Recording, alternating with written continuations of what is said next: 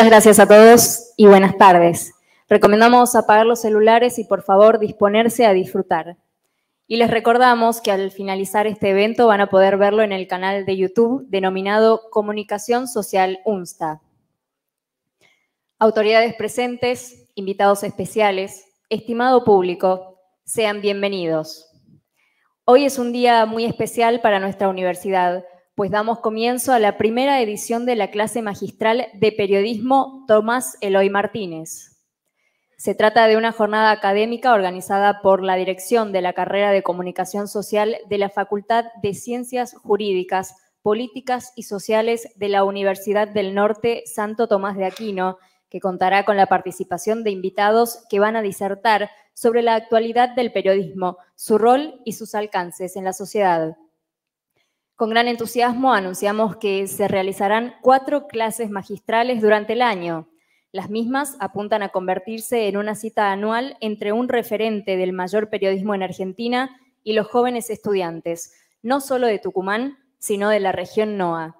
Por esta razón, se anunciará con antelación a través de los medios de comunicación y las redes sociales. La clase magistral pretende convertirse en un faro de referencia sobre la profesión, para los jóvenes que empiezan a decidir su futuro académico en el campo del periodismo y la comunicación social. Para iniciar oficialmente esta clase, contamos con palabras de Ezequiel Martínez, presidente de la Fundación Tomás Eloy Martínez. Pedimos por favor que bajen la luz para ver un video.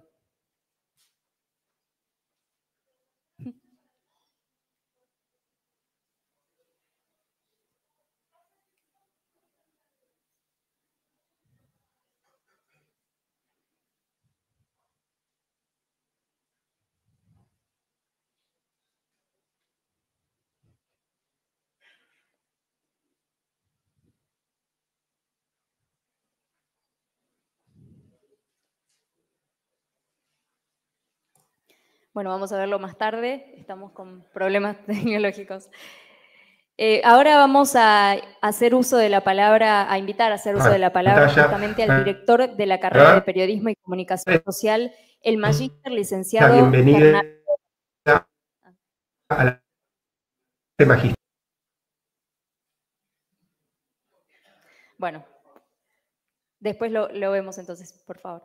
Eh, pase por favor entonces un aplauso para el director de la carrera de Periodismo y Comunicación Social, Fernando García. Hola, hola.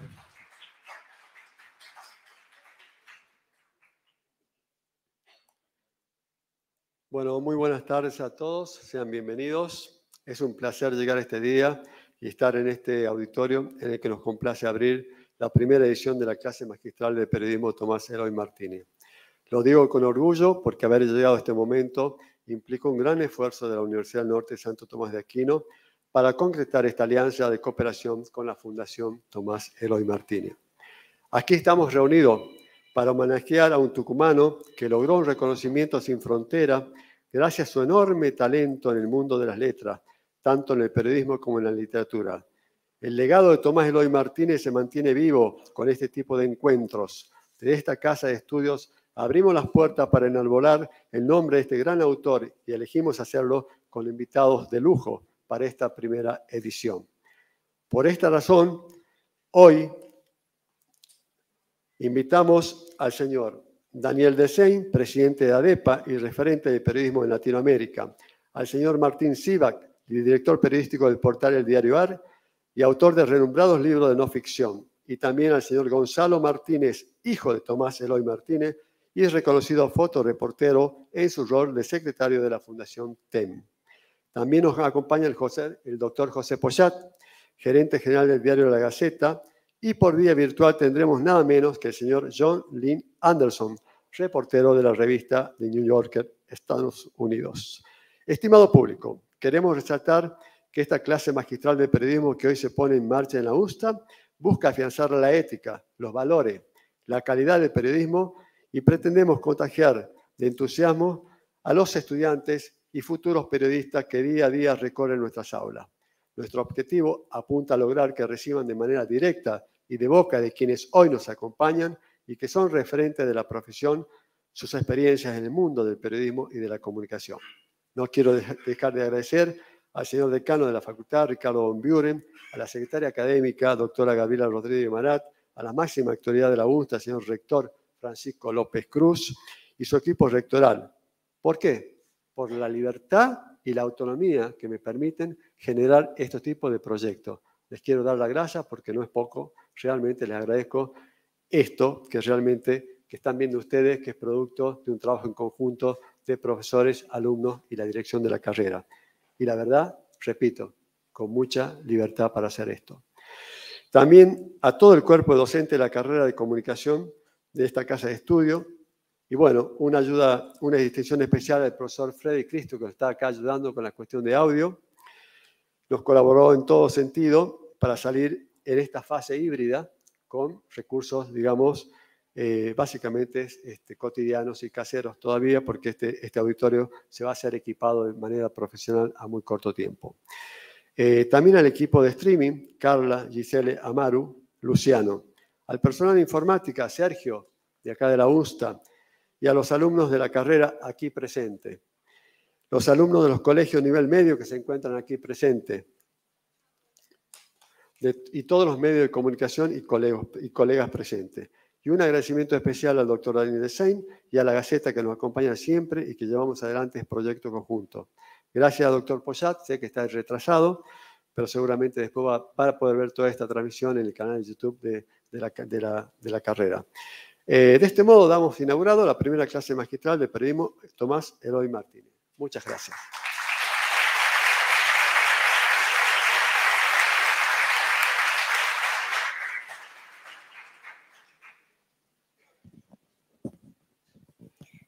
¿Podemos ver el video ahora, por favor?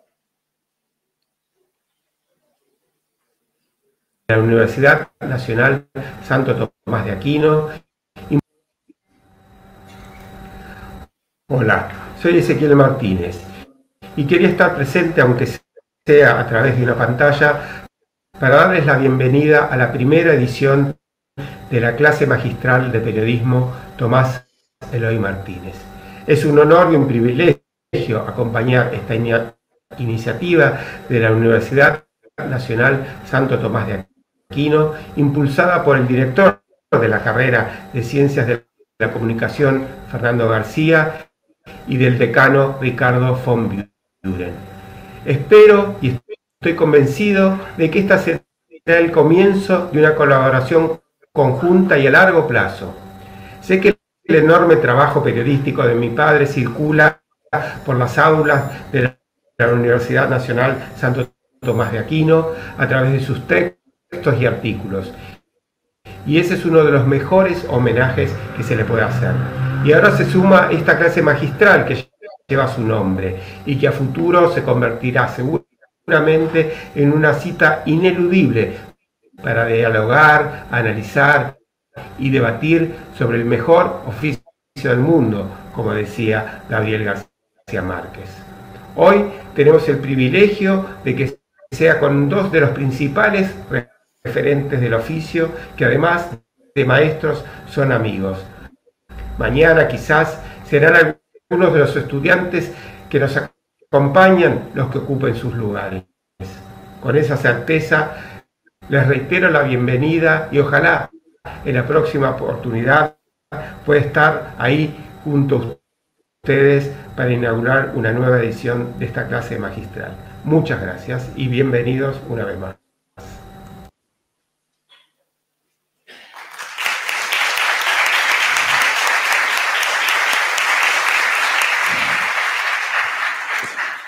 Esas fueron entonces las palabras de Ezequiel Martínez, presidente de la Fundación Tomás Eloy Martínez. Siguiendo con esta jornada, invitamos al profesor de nuestra casa y periodista de la Gaceta, Miguel Velardes, a subir al escenario para iniciar el conversatorio con nuestro invitado especial en comunicación directa desde Londres, Inglaterra, John Lee Anderson. John Lee Anderson es un destacado periodista estadounidense que nació en California en 1957. Se inició como periodista en Perú en 1979 como miembro del seminario The Lima Times y se especializó desde entonces en temas políticos latinoamericanos y conflictos modernos, incluyendo los de Afganistán e Irak. Desarrolló una escuela sobre la forma de escribir perfiles, habiendo realizado los de importantes personalidades mundiales como Fidel Castro, Gabriel García Márquez, Augusto Pinochet, el rey Juan Carlos I de España y Hugo Chávez. Ha publicado los siguientes libros, Che Guevara, Una vida revolucionaria, La tumba del león, Partes de guerra desde Afganistán y La caída de Bagdad, entre otros. También publicó artículos para The New York Times, Financial Times y The Guardian, El País y Harper's Magazine. Forma parte de la plantilla permanente de la revista The New Yorker y ha sido maestro de la Fundación Gabo desde el año 2000.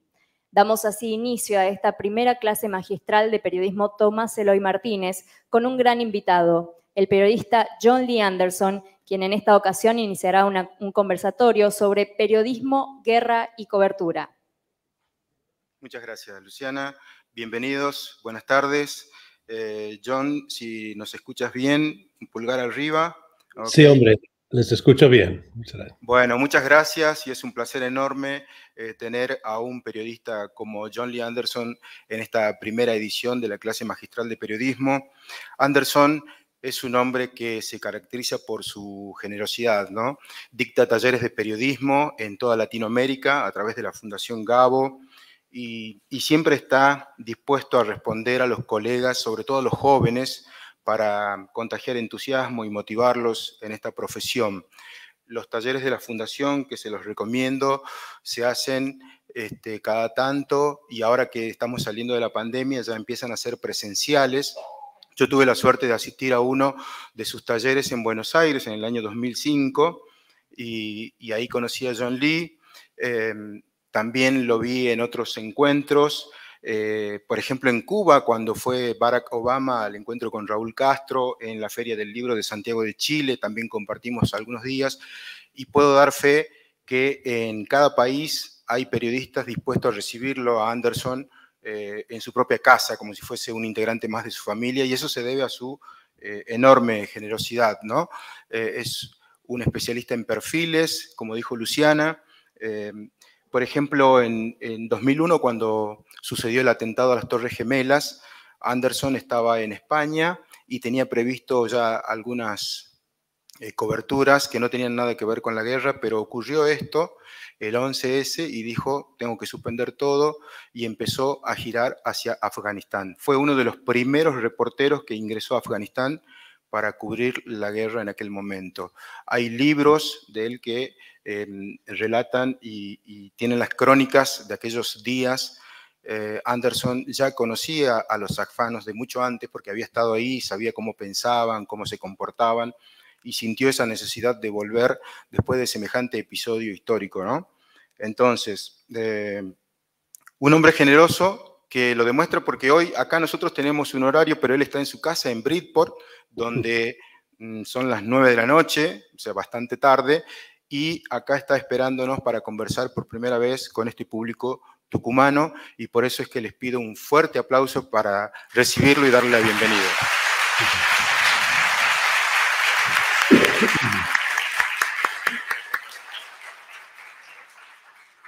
Bueno, John Lee, queremos que se despierte todo Bridport a esta hora. ¿Cómo estás? Ya, ya está despierto, ya muchas gracias, Miguel. Mira, tenemos muchos temas para conversar y no hay mucho tiempo y también queremos darle la posibilidad al público que pueda hacer sus preguntas. Así que vamos a tratar de aprovecharlo al máximo, ¿sí?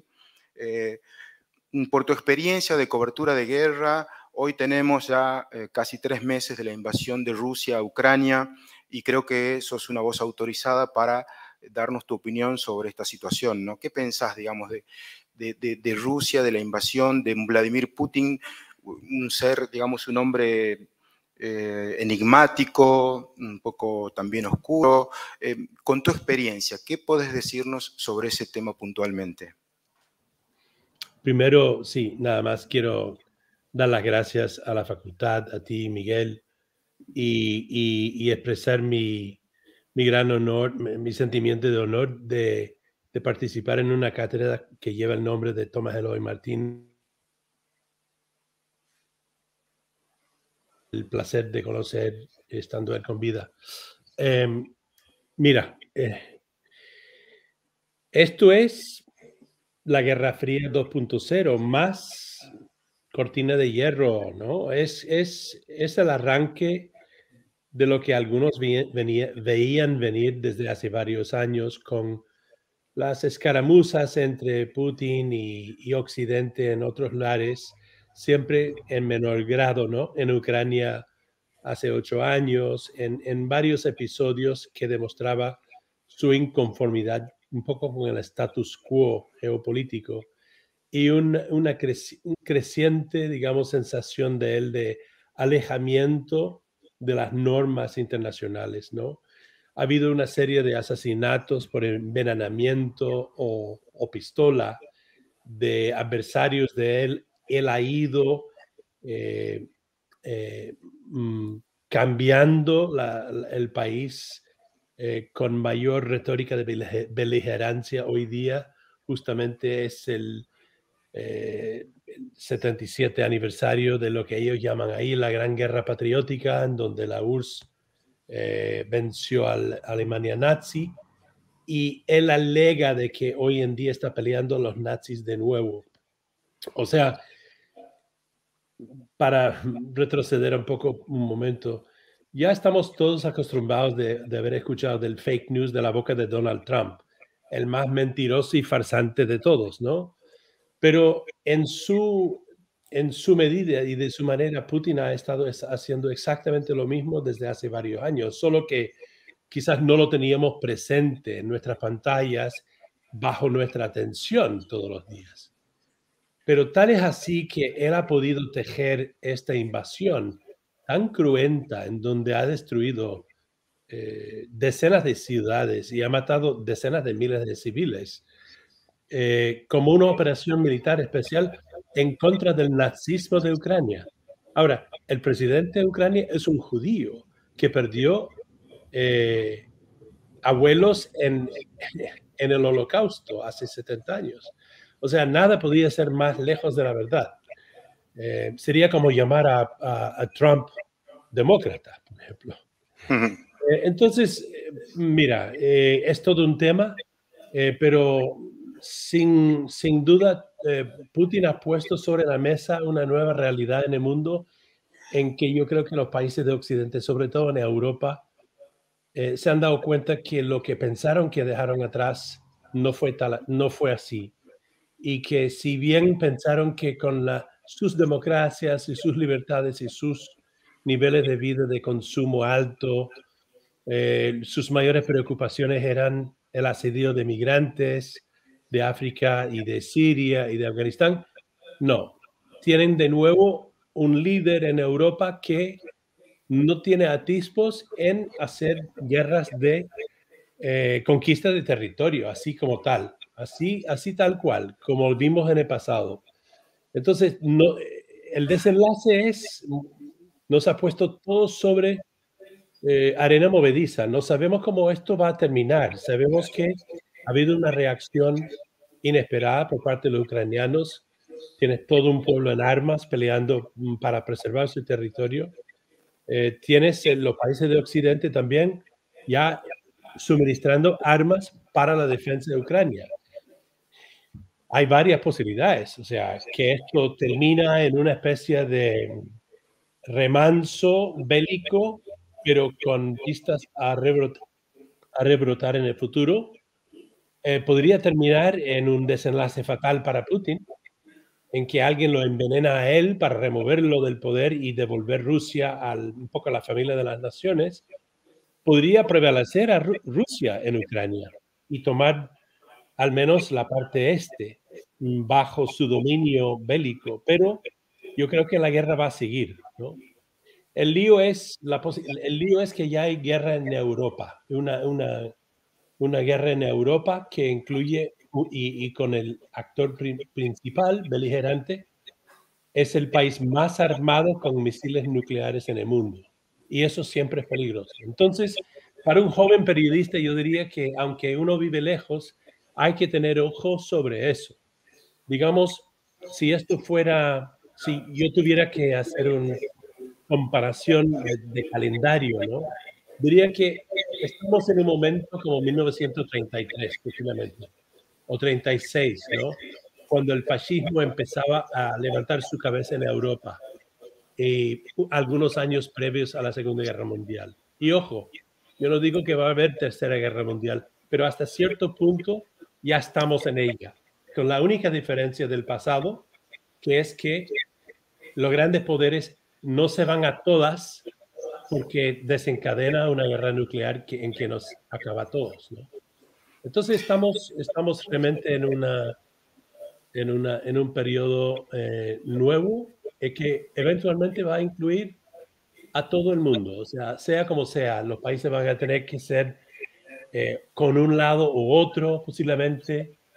Va a haber este, muchas competencias sobre eh, recursos naturales y votos en la ONU. Este es un mundo ya mucho más incierto de lo que fue hace tres meses. Bueno, es un escenario alarmante, ¿no? El que estás describiendo. Y, y como decíamos, casi tres meses ya de conflicto bélico, eh, pero la cobertura específica, la cobertura de la guerra se ha modificado, por supuesto, la aparición de las redes sociales, eh, la gran potencia que tienen las fake news, como decías. Em, ¿Qué tanto ha cambiado de aquellas coberturas que te tocó hacer en Afganistán, en Bagdad, a, lo que hoy se muestra desde Ucrania? Porque por ahí eh, los fotoreporteros hoy utilizan drones para tener una imagen más fuerte desde arriba. Eh, algunos fotoperiodistas cuestionan como un excesivo uso de los drones. Eh, recordemos el axioma ¿no? de los fotoreporteros. Si una foto no es buena es porque no estuviste lo suficientemente cerca. Entonces, eh, tu parecer sobre la cobertura de la invasión rusa en Ucrania en los medios internacionales hoy. ¿Cómo se está dando? Mira, primero, Miguel, la mayoría de los periodistas no están en la línea de frente. ¿Por qué? Porque Rusia no tiene periodistas que lo acompañen. De hecho, hay uno que yo vi ayer que cubre todo desde el lado ruso y, es independiente, es un norteamericano medio alocado que da la versión rusa, ¿no? Luego hay periodistas rusos que trabajan para lo que es la televisión estatal ruso, ¿no? Eh, enquistado con sus tropas y lo que se ve en Moscú, eh, en Rusia, es una versión Alicia en el País de las Maravillas. Son eh, tropas rusos bajo fuego ucraniano, regalando comida a los ucranianos hambrientos y agradecidos. Bueno, es todo una guerra de propaganda ahí, ¿no? Es más, Putin, hay que, hay que entender que Putin decretó una ley criminalizando el llamar la guerra guerra o invasión. Si cualquier ruso dista o extranjero dista de eso, puede pasar hasta 15 años en la, cárcel. Por eso la mayoría de los corresponsales extranjeros en Moscú salieron en los primeros días de la invasión. Ya no hay cobertura casi mundial en Rusia ya. Solo es propaganda de parte de los periodistas rusos y por razones obvias. Tienen una pistola en la nuca, ¿no? Del lado ucraniano, el ejército ucraniano restringe el acceso a la línea de frente. Hay algunas excepciones, sobre todo por el riesgo a los corresponsales. Hay muchos que han llegado al país eh, y varios fueron matados, ¿no? O sea, conozco por lo menos dos de ellos personalmente que fueron asesinados o cayeron en emboscadas en los primeros días, ¿no? Em, eh, entonces, pero hay algunos que trabajan como siempre hemos trabajado en las líneas de frente. Uno se mete con un eh, equipo de ambulanceros o con un, equipo de rescatadores y se, se, se pone en, en, el medio de la cosa, ¿no? tengo varios amigos, tengo por lo menos 15 amigos que están ahí y amigas, eh, varios fotógrafos muy valientes que están sacando imágenes cruentas todos los días de la línea de frente de los, muertos, la gente rescatada, los bombardeos y demás. Eso sí, algunos sí utilizan drones para sobrepasar encima de, qué sé yo, la ciudad sitiada de Mariupol. Todos hemos estado acostumbrados ya de ver estas imágenes casi silenciosas sobre arriba de las ciudades. Nos da una óptica que antiguamente no nos daba. Tampoco creo que es em, un reemplazo al oficio tradicional de meterte y meterte la, la tierra bajo las uñas, ¿no? Em, hay muchísimos periodistas, hay buen periodismo saliendo de ahí. Está, está un poco surrealista, no por el hecho de, no por la falta de deseo de los periodistas de lograr lo que, a, lo que han ido a, conseguir, el mero mero, pero por las restricciones y el gran peligro de acercarse a donde, al campo de batalla donde los rusos están metiendo misiles y bombas todos los días, ¿no? Eh, entonces, los riesgos son grandes y, y, eso es el principal razón por lo cual no sentimos siempre que estamos en el sitio. Eh, no estamos escuchando, eh, estamos recibiendo muchas noticias por celulares, por video, por WhatsApp. Y eso ya, ya que lo preguntaste, eso se ha convertido en como el pan de nuestro día hoy en día, en el campo de las comunicaciones, inclusive en el periodismo, mucho de lo que sale de estos sitios sale de las redes sociales, ¿no? ¿Qué sabemos de lo que pasa en Birmania, donde apenas, donde hay un régimen militar muy represiva?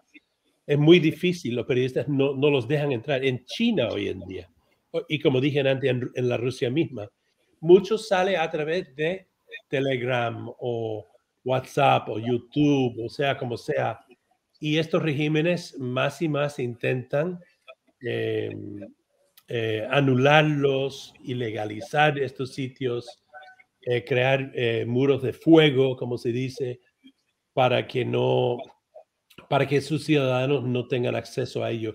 Pero los, los ciudadanos en este mundo, en este mundo con tantas plataformas tecnológicas siempre saben inventar cómo sacar la noticia, sea como sea. Mm. Lo difícil para todos nosotros es distinguir entre lo que es falso y lo que es verídico. Pero menos mal, menos mal hay, hay, eh, hay grupos, eh, algunos de buen nombre eh, en el mundo que vigilan eh, vigilan esa parte y nos, nos reportan cuando es noticia falsa. Claro, en muchos casos el, el, primer golpe de la noticia es lo que vale y el daño está hecho, pero bueno, estamos en la Torre de Babel. Así es, tal cual. El comienzo fue un bombardeo de, de fake news y costaba separar la paja del trigo, ¿no? Em, me interesa, John Lee, conocer también eh, tu opinión desde afuera cómo se ve el rol del gobierno argentino en este conflicto.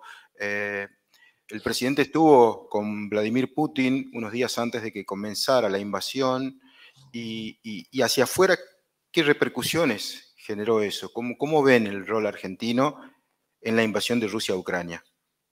Mira, así como la visita de Bolsonaro, que no, no creo que Alberto Fernández y Bolsonaro tienen mucho en común, pero en común tenían un deseo de ir y hacer eh, masajes a los muslos de Vladimir Putin días antes de, que invadió a Ucrania, evidentemente porque es lo que hicieron.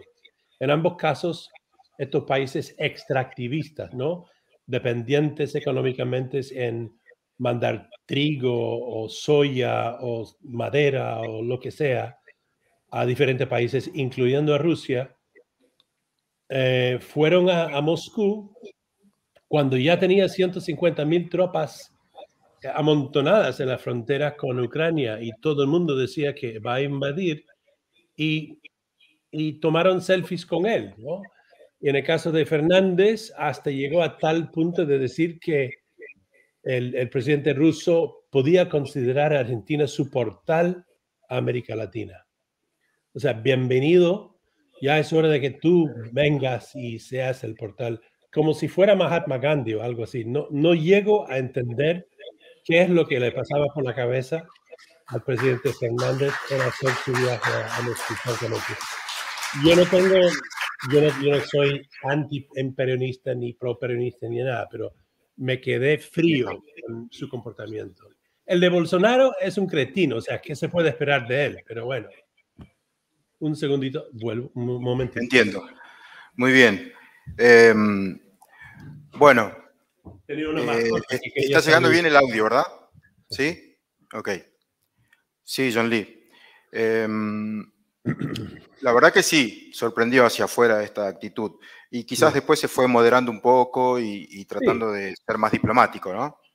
Mira, sí, vivimos en tiempos de populismo, lamentablemente, y inclusive presidentes o líderes que en algún otros momentos quizás habrían demostrado más raciocinio o más serenidad, eh, se han prestado a, gestos populistas que si bien están acostumbrados a hacerlo al, interior de sus países y no pasa nada, eh, resulta chocante verlos en, en, una, en un escenario internacional. La verdad es que no creo que mucha gente se dieron cuenta de la visita de, de Fernández a Moscú.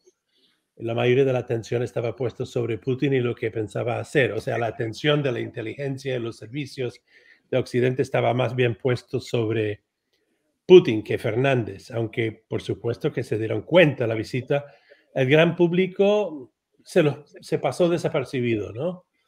Eh, y, y, no es de sorpresa que lamentablemente que países así de con las poblaciones instruidas y grandes, eh, que es como Argentina o Brasil, que podrían pintar en el escenario mundial, podrían ser protagonistas para el bien. En lugar de eso, em, eh, sus, sus, sus, líderes, en este caso, em, serán reconocidos o recordados por sus traspiés en el escenario internacional. No, por, no por las bondades que hicieron. Eh, John Lee, acá tenemos entre el público muchos estudiantes de la carrera de periodismo y, en estos días previos estuvieron trabajando con uno de estos textos, eh, específicamente con la crónica sobre eh, mm. Charles Taylor, el dictador de Liberia, em, para los que todavía no vieron, la crónica está en la web disponible, se publicó en el New Yorker y, uno lee hoy, después de tantos años de aquella publicación, y sigue vigente y, es espeluznante descubrir un personaje como Taylor. Eh, al final de, un resumen que hizo John Lee Anderson, eh, pedía si alguien tenía la gentileza de, matarlo, terminar con Taylor por, por toda su, su, su actitud sanguinaria, ¿no? Es responsable de la muerte de casi medio millón de personas en Liberia. Es muy fuerte.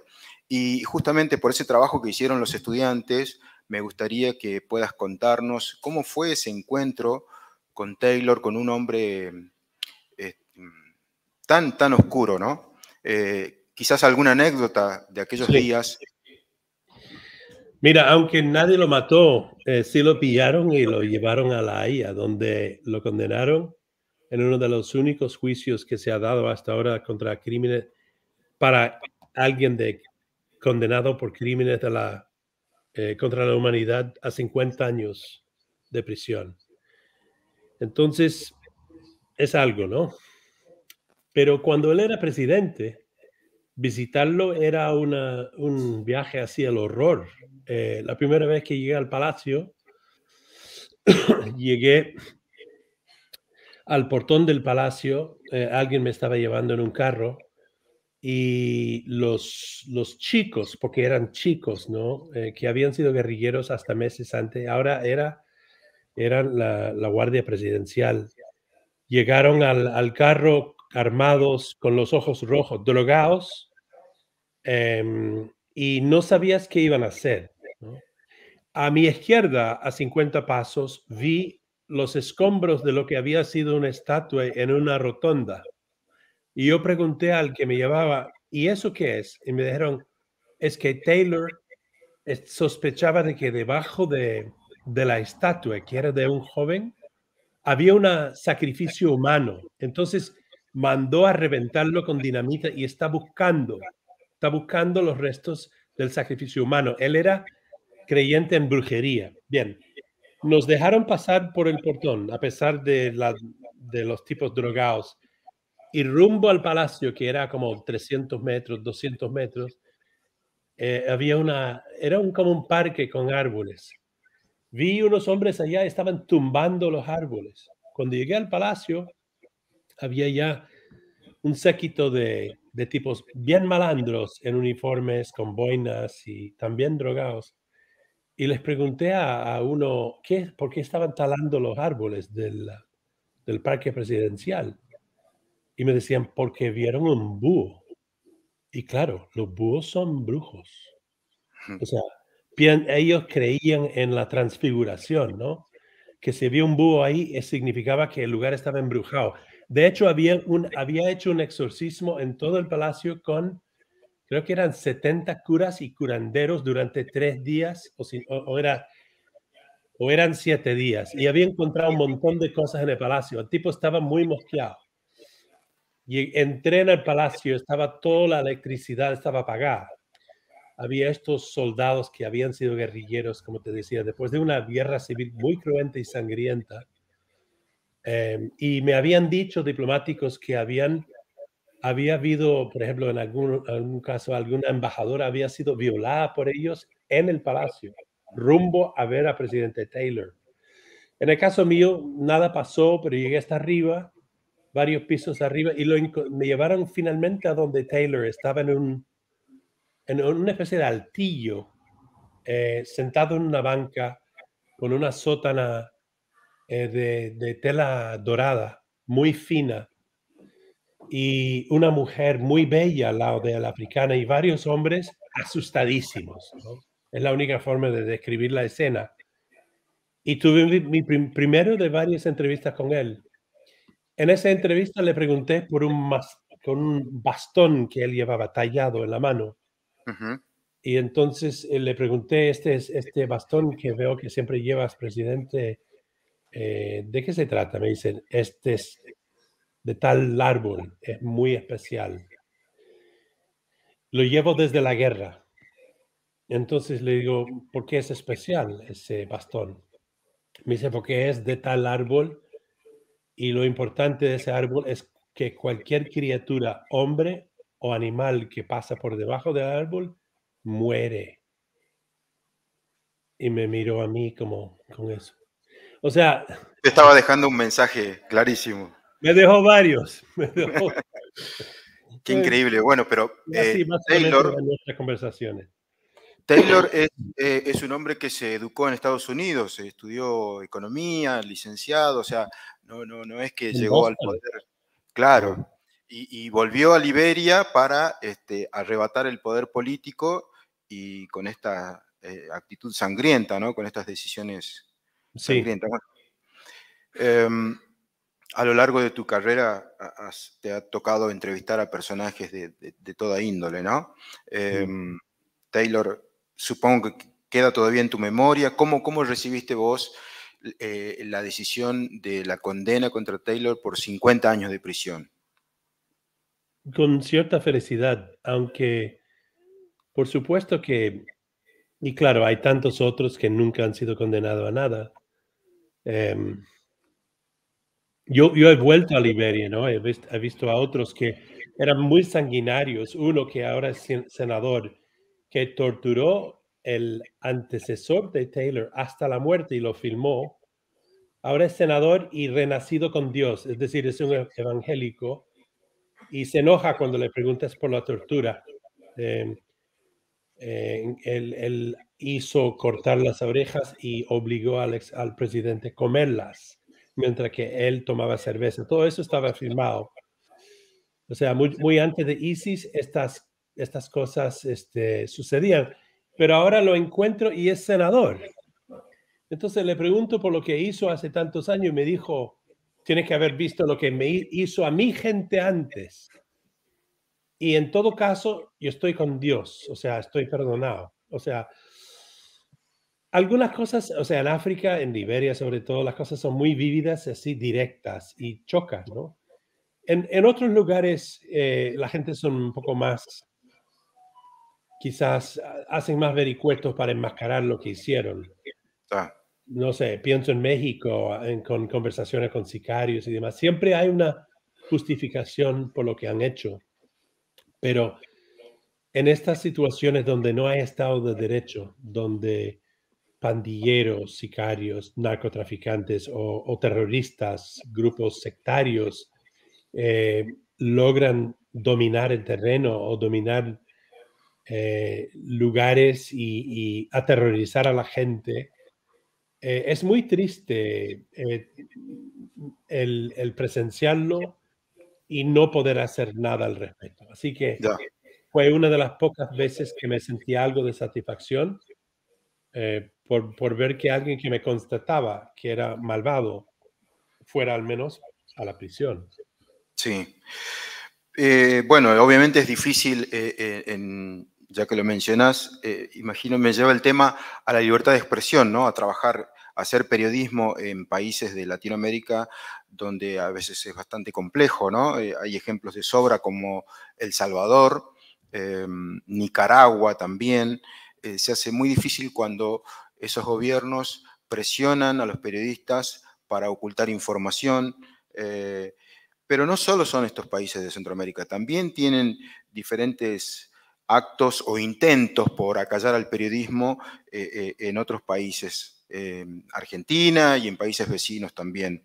Em, ¿Cómo ves el ejercicio del periodismo? Porque el intento de los gobiernos de, de tapar cosas, de ocultar información, siempre va a estar, es una lucha constante de los periodistas. Pero hoy por hoy, ¿cómo analizás que está Latinoamérica en esta materia? Mira, em, está mejor que otros lugares en el mundo, pero no está del todo bien. Y hay algunos países en donde está realmente mal, ¿no?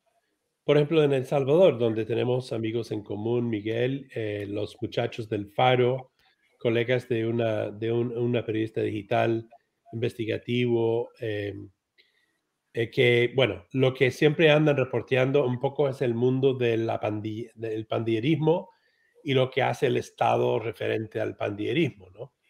Y Bukele, el presidente, que tiene aires dictatoriales, acaba de pasar un, un decreto ley muy parecido al de Putin que acabo de mencionar, en donde Ajá. criminaliza, ¿no? La descripción de la guerra como guerra.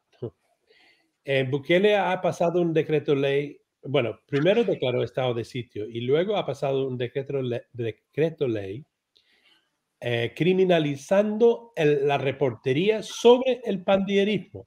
Es decir, es como decir, no puedes reportear sobre el elefante en el salón. La única cosa que reporteable y de tema en El Salvador es el, es el pandillerismo, porque ha habido o bien un pacto con el Estado y después al romper el pacto los pandilleros salieron a matar a 80 personas indiscriminadamente hace un par de semanas, lo cual hizo que Bukele mandara las tropas y metió 10.000 personas en la cárcel. Ahora, reportear sobre el pandillerismo ahora es ilegal en El Salvador y nuestras colegas se van a tener que ir. Se están yendo algunos, algunos se han marchado porque saben que ellos mismos van a terminar en la cárcel. Ni hablar en Nicaragua, donde Ortega también ha tomado una página del, un poco del libro de Putin. Todos han hecho lo mismo, ¿no? Es eh, criminalizando eh, la prensa. Si la prensa eh, recibe dinero de alguna fundación en el extranjero, son, son, eh, son lacayos del imperialismo o son apologistas del, imperio yanqui o son, en, en el caso de Nicaragua, son vinculados al terrorismo internacional. Bueno, es lo que ha hecho Putin. En el caso de Ortega, Bukele han hecho sus variantes locales, lo cual eh, tiene como, como, eh, como fin eh, desoxígeno, o sea, sacar el oxígeno del, del ambiente y obligar a los periodistas a huirse. De hecho, ya, ya no hay nadie reporteando en Nicaragua, como si fuera Turkmenistán o Siria, ¿no? Increíble. En El Salvador, en, en muy pocos días o semanas, ya no va a haber. Eh, por leyes que están como inspirando un poco en lo que ha hecho Putin, lo que ha hecho China también. Y entonces eh, lo interesante de esto es que ya no, digamos, no es, no es ni derecha ni de izquierda, ni se sabe por dónde tirar a alguien como Bukele. Probablemente es más, más de derecha, es más de derechas que otra cosa. Eh, mm, Ortega supuestamente es de izquierda, pero de izquierda, mm, a mi juicio, no tiene nada. Es un, es un tipo, es un déspota, déspota además. Y entonces estamos en una impasse en América Latina y en el mundo. Lo vimos con Trump en Estados Unidos, eh, con sus ataques constantes sobre los periodistas de verdad, llamándole fake news, vilipendiándolos y creando un ambiente de polarización eh, en el país en, que ya sus hinchas eh, dentro del Partido Republicano por todo el país empezaban a agredir y atacar a los periodistas de verdad y creando una especie de noticia paralela, ¿no? un mundo propio, un poco como ha hecho Putin en Rusia. Eso es el gran peligro de nuestro tiempo, que estos autoritarios y populistas utilizan las redes sociales como una arma para manipular y crear hinchadas hasta ejércitos que em, destruyan la democracia y, em, y, dejan que hagan lo suyo. Estamos ante, no, no tanto ya en un impasse entre izquierda y derecha, sino de democracia y autoritarismo. Ya. Eh, eso es el gran lío que, y, y, tenemos que estar un poco conscientes de eso en América Latina. Lo vemos en los esfuerzos de Bolsonaro en Brasil de hacer algo parecido. Y bueno, aquí hay puntos, ¿no? Hay puntos. Em, pero se ha ido, em, el espacio de libertad de prensa en América Latina ha ido achicándose. Ha ido achicándose. Ya, lo cual es eh, preocupante, sin duda. Em, y ya que estamos con América Latina, eh, John Lee, el tema de, de, la irrupción en el escenario político eh, en Chile con el caso Boric. Eh, sabemos que estuviste o estás trabajando un texto sobre el nuevo presidente chileno. Mm, estuviste ahí en el momento del, juramento en el cargo, hablaste con él varias veces. Eh, está próxima a publicarse esa crónica, ese texto en New Yorker. Eh, ¿Cómo ves a Boric? O sea, ¿cómo lo presentarías? ¿Podrá gobernar? ¿Es un aire fresco en la política para esta región? ¿Cómo lo analizás? Mira, sí, justamente fue esa pregunta que yo llevaba, eh, Miguel, eh, bien dicho, ¿no? Porque e, era justamente esa pregunta, mi pregunta al irme ahí, a accederme a él y, en el perfil que acabo de ya enviar a mi editor. Estamos en edición, yo espero de aquí a dos o tres semanas sale. Mira, no se puede adivinar el futuro, pero no lo tiene fácil, ¿no? No lo tiene fácil por varias razones. Em, el estallido social en, Chile dejó expectativas muy altas y, muchas cosas no resueltas, ¿no? Hay un sector de la población que creen que pueden rehacer el país. Y entonces eh, tienen paralelo con su accesión al poder un proceso constituyente en donde van a hacer un nuevo pergamino para guiar los destinos del país. Hay es un país con un lado convencional, institucional y muy conservadora, ¿no? Chile siempre ha oscilado entre el conservadurismo y un poco el anarco romanticismo, ¿no? Lo, hemos visto, lo vemos con los, chicos del estallido social, lo vimos en la época de Allende, y Allende y luego Pinochet. Y aunque durante 30 años fue un país que alternaba bien entre centro derecha y centro izquierda, vimos que, que debajo de eso había tensiones que se brotaron con el estallido social, producto del cual ha salido este chico joven, era un, un activista él mismo en su momento, luego parlamentario, y ha llegado al poder. Yo creo que el tipo es más socialdemócrata que otra cosa. Él es un tipo que busca la unión, eh, no va a ser fácil imponer eh, y ganar el respeto de la población tan polarizada. Hay todavía gente de la, derecha y también de la extrema izquierda que no quieren que tenga suerte. Eh, tiene problemas de indocumentados, un millón y medio en el norte, en un país de solo 19 millones. y en la Araucanía en el sur, donde la etnia mapuche está muy eh, inquieta por toda su historia y, en, enfrentado con el, con el Estado a través de los militares. Y entonces hay dos grandes problemas que no tienen una solución muy fácil, más la economía, como todos los países latinoamericanos, muy golpeada después de la pandemia. En fin, claro, tiene un nivel de vida más alto que sus vecinos, Chile, ¿no? Pero una, tiene una de las desigualdades más grandes del mundo, ¿no?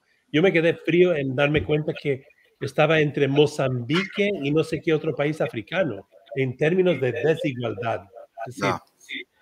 Pero entonces es un país eh, interesante que en donde suele ser un poco pionero en las cosas. Vamos a ver cómo le resulta.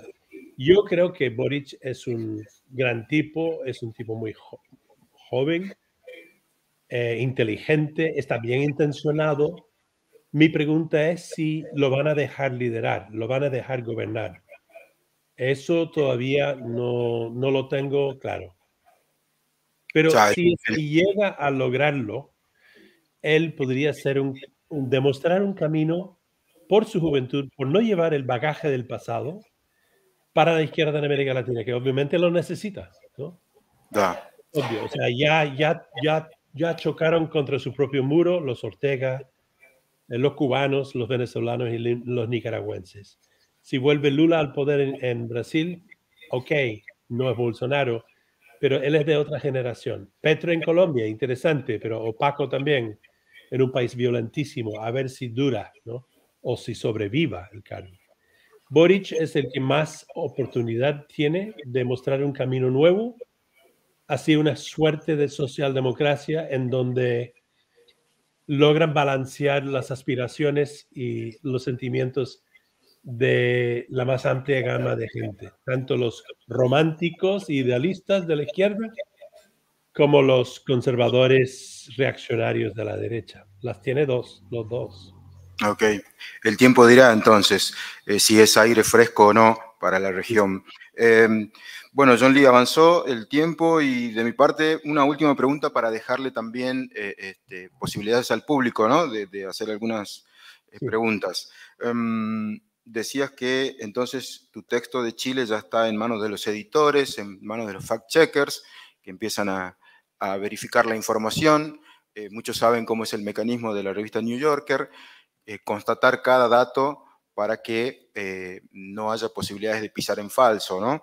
Y, y eso me recuerda también cuando acá los estudiantes en esta casa de estudios empiezan a hacer los trabajos prácticos y siempre me gusta recorrer este, mm, los escritorios porque están trabajando, escribiendo y suenan los teclados y es como música, ¿no? Para nosotros, eh, como si fuese una redacción de un diario. Y, pero también hay momentos en que se quedan tensos mirando la pantalla y se bloquearon. Entonces me gustaría saber eh, si te pasó en algún momento con algunos trabajos que estás en la mitad, no sé, o, sentís que eh, un poco más de la mitad, pero ahí surge un bloqueo, una parálisis qué herramientas utilizás para desbloquear ese momento eh, y para decir, bueno, tiene que volver a fluir la escritura. Eh, ¿qué, se puede hacer? ¿Cuál es tu herramienta preferida en esos casos?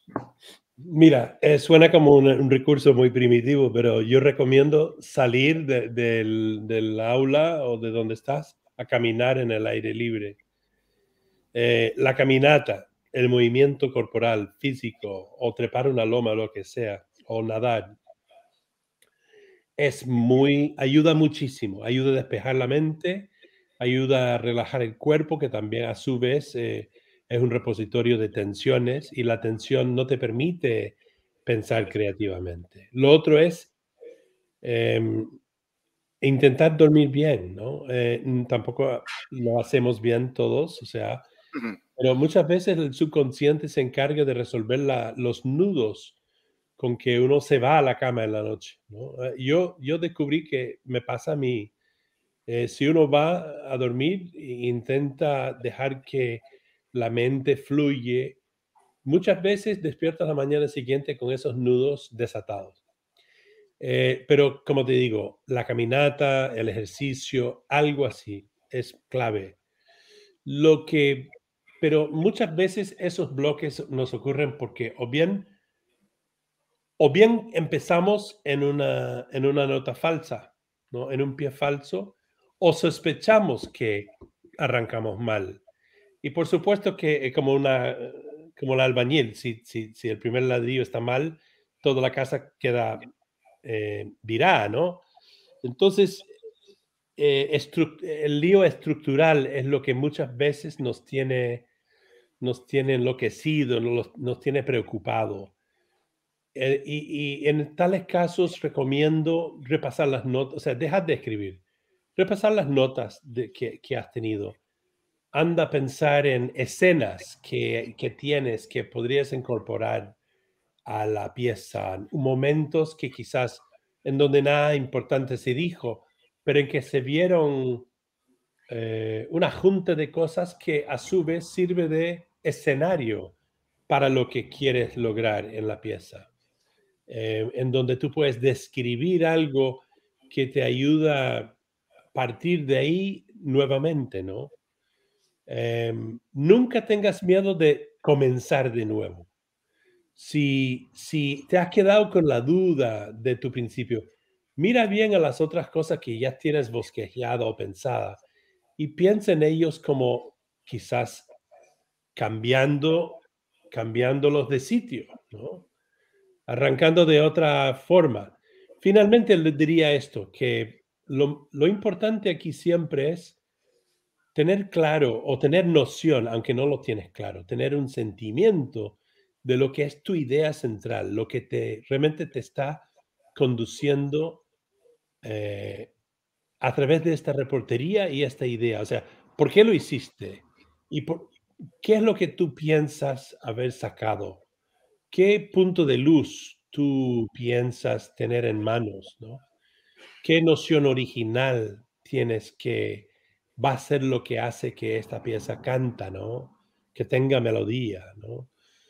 Eh, y no una cosa ordinaria. Entonces, es, intentar mirar más allá del horizonte un poco y dentro de sí mismo para darte cuenta, para, para constatar qué es lo que te está conduciendo aquí. Es un reportaje sobre, a ver, es un reportaje sobre una manifestación, digamos, ¿no?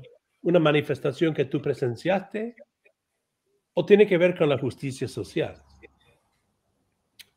Eh, el perfil se trata de María Antonia no sé qué, o, pero estás con ella ¿por qué? No porque te abrió la puerta y tiene un nombre, pero porque tú tenías un interés específico en algo de ella, de su vida. ¿Qué es lo que era? ¿Era porque se casó 16 veces? ¿O porque ella era la primera abogada de la provincia de Tucumán en los años 30? Y, eso qué significa hoy en día. No sé, ¿me entiendes? Hay cuestiona a sí mismo, intenta salir de, tu espacio. Y, vuelvo a decir lo que dije al principio, sal a caminar. Yo encuentro que cuando salgo a caminar y, sobre todo la primera cosa que, eh, la primera cosa que haces en la mañana ha de ser salir a caminar. Increíble cómo las ideas se fluyen. Llévate un, un librito de apuntes o tu teléfono para ir tomando notas. Porque muchas veces salen estos pensamientos y nunca vuelven. O sea, aprovecha el momento. Tal cual, bien. A salir a comprar tomates, aunque sea, ¿sí? Para despejar la mente. Bueno, abrimos el periodo de preguntas del público, ¿sí? Eh, voy a pedir para mantener un orden que levanten la mano. Hay un micrófono que le acercamos y le puede hacer la pregunta directamente a John Lee Anderson. Eh, mientras tanto, acá eh, en el canal de YouTube tengo a Rodrigo Javier García que pregunta sobre la guerra Rusia-Ucrania, deja inútiles a organismos internacionales como la ONU y su Consejo de Seguridad? Es la pregunta, John Lee. Mira, qué buena pregunta y, penosamente hay que decir que prácticamente sí. Vimos como Joao Guterres, el secretario general fue a Moscú a hablar con Putin y luego a Zelensky en, Kiev. Y mira lo que hizo Putin a, los pocos minutos de, estar él. El día siguiente de estar con él, Guterres, el secretario general de la ONU, está en Kiev y manda una bomba al centro de Kiev. Sea, era obvio que era un mensaje, ¿no? Em, lamentablemente la ONU, que fue una idea tan genial, una de las mejores ideas que, que, pudo tener la, la, comunidad de naciones después de la Segunda Guerra Mundial, fue, la, fue las Naciones Unidas. Pero a través de los últimos 70 años se ha ido burocratizando y está atado de manos por sus mismos fórmulas en donde los grandes poderes pueden vetar a las acciones de los demás. Eh, eh, se ha vuelto un, un, bicho muy, muy gordo, muy grande y muy incapaz, ¿no? Eh, yo no creo que hay que abolir la ONU, sino hacer una especie de revolución dentro de ella, a revivirla. No sé si, si, es posible, pero hemos estado en un trance desde hace por lo menos 20 años, desde Ruanda, en, en el genocidio que tampoco pudo impedir, en que la ONU se ha demostrado ser más incapaz que capaz. Sin embargo, em, sigue siendo eh, en papel eh, algo que deberíamos apreciar y deberíamos volver a apreciarlo y valorarlo y tratar de hacerlo em, vivir de nuevo. Pero por, por ahora no tiene prácticamente ni voz ni voto en lo que está pasando en Ucrania. Lamentablemente. Bueno, eh, me dicen que hay una pregunta también que va a aparecer en pantalla. Acá está. Hola, soy Eddie Cifred desde Barcelona. En Barcelona en este momento, corresponsal de Telefe Noticias Tucumán.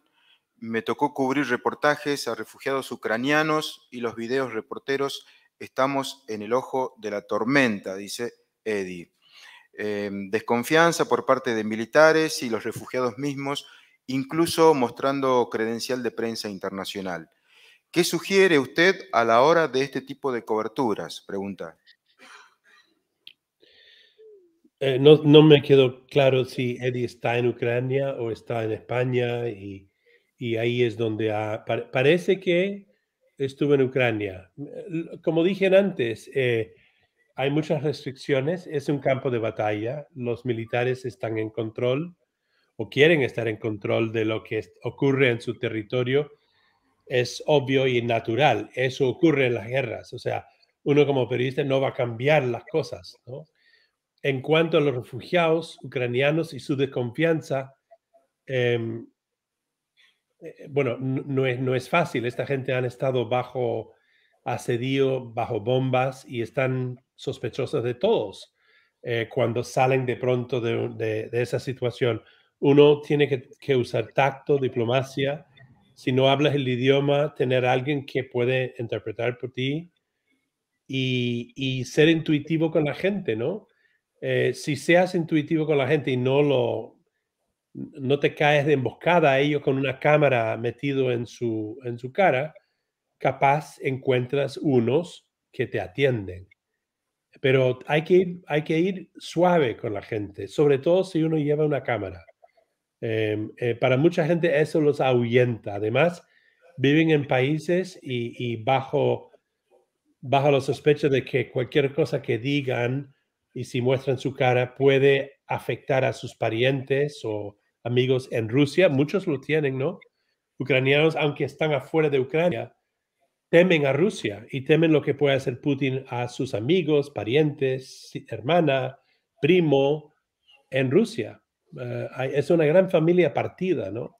Entonces, em, mira, como te digo, suavidad, tacto, intuición, sobre todo. Y maña, pues, es lo que tienen que hacer los periodistas siempre, ¿no? Hmm. Maña, pero sinceridad. Bien. Bueno, tenemos acá em, también del público otra pregunta.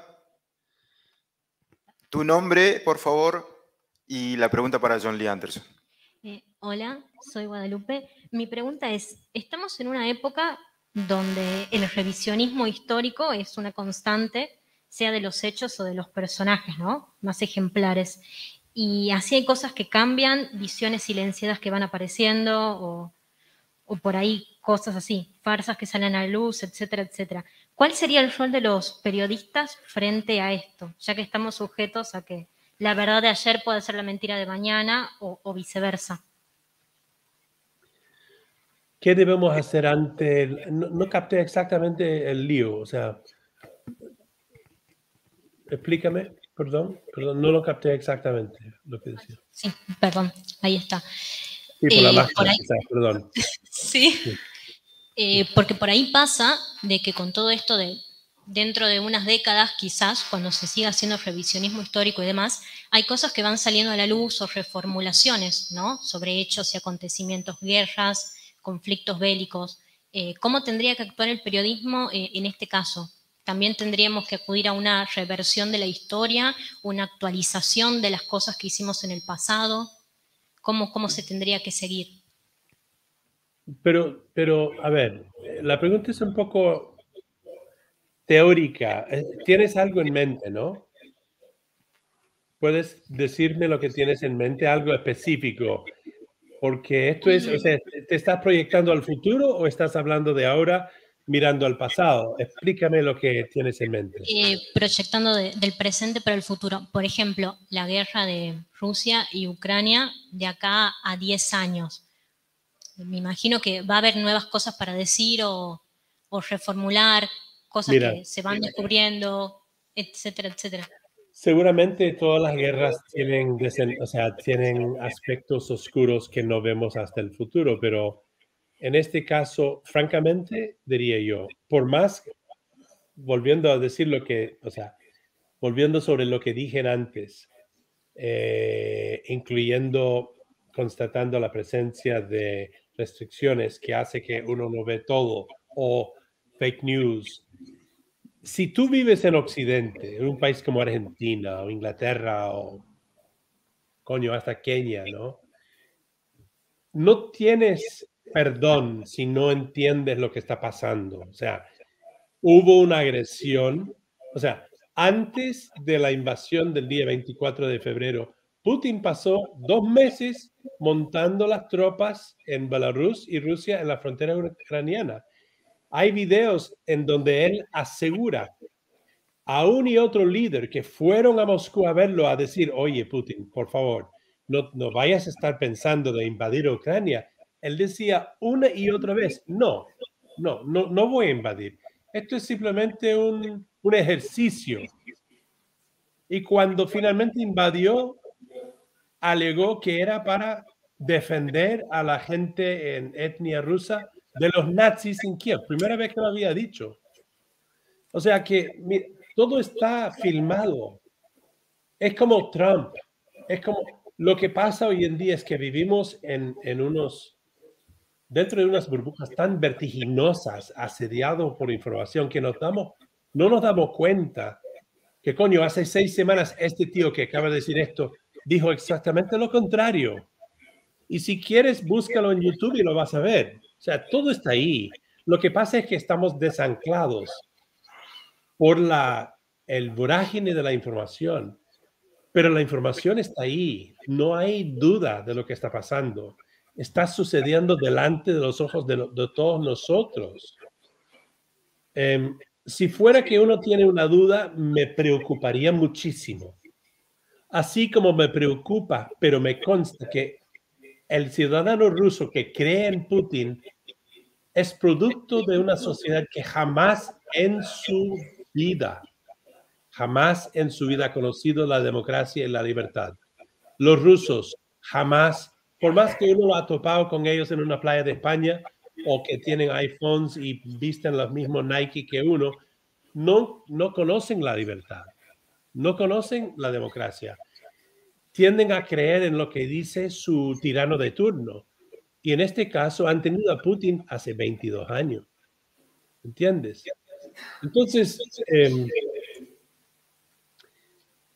no hay excusa para no saber la diferencia entre la información producto del autoritarismo y la información que nos, que nos llega porque está alrededor nuestro en la democracia. Tenemos que saber distinguir. Puede, puede resultar a veces difícil o abstracto, pero está a la mano de todos nosotros. No hay excusas. de que no supimos que él mandó a matar a 3.000 ucranianos y los enterró en una fosa común que logró esconder durante 20 años y en 20 años lo descubrimos, capaz. Pero, pero el, el porqué de la guerra, el, eh, lo que realmente sucedió, quién hizo qué a quién, ya lo sabemos. Bien. Eh, una pregunta más me dicen y, y, ya concluimos, ¿sí? Por favor, tu nombre y. Hola, ¿cómo le va, señora Anderson? Soy Gisela Fajre. Quería preguntarle en el análisis este de la guerra europea que usted hizo, si no considera que aparte de Putin hay también otros actores, sean, este, sean este, países o bloques económicos y políticos que han influido en este desencadenamiento la historia nos demuestra que es así. Usted lo comparó con la Segunda Guerra Mundial y la Segunda Guerra Mundial fue analizada profundamente cuáles fueron los factores de surgimiento del nazismo y de la guerra. ¿No considera que en este caso también hay factores internacionales de política internacional que favorecieron esta guerra? No, yo creo que más bien Mm, es lo que tiene que ver con la psicología de Vladimir Putin, ¿no? O sea, eh, en la organización de la OTAN, o sea, básicamente estás diciendo, me estás, no sé si me estás preguntando o me estás eh, dan, dejando saber algo. Pero, no, eh, estoy, estoy, poniendo a su consideración y de todos nosotros un análisis más abierto. Todas las guerras tienen sus factores, señora, o sea, obvio. O sea, pero al final eh, los, que lo, los que los libran eh, son los que son los perpetradores. Es decir, nadie estaba tirando tiros, tiros contra Rusia cuando Rusia invadió a Ucrania. Es un país independiente. Quizás no sabes, pero hace 20, eh, a ver, hace 27 años, Rusia, Estados Unidos y varios países más desnuclearizaron a Ucrania cuando se hizo país independiente, avalado por Rusia con sus fronteras actuales, no las invadidas, ¿no?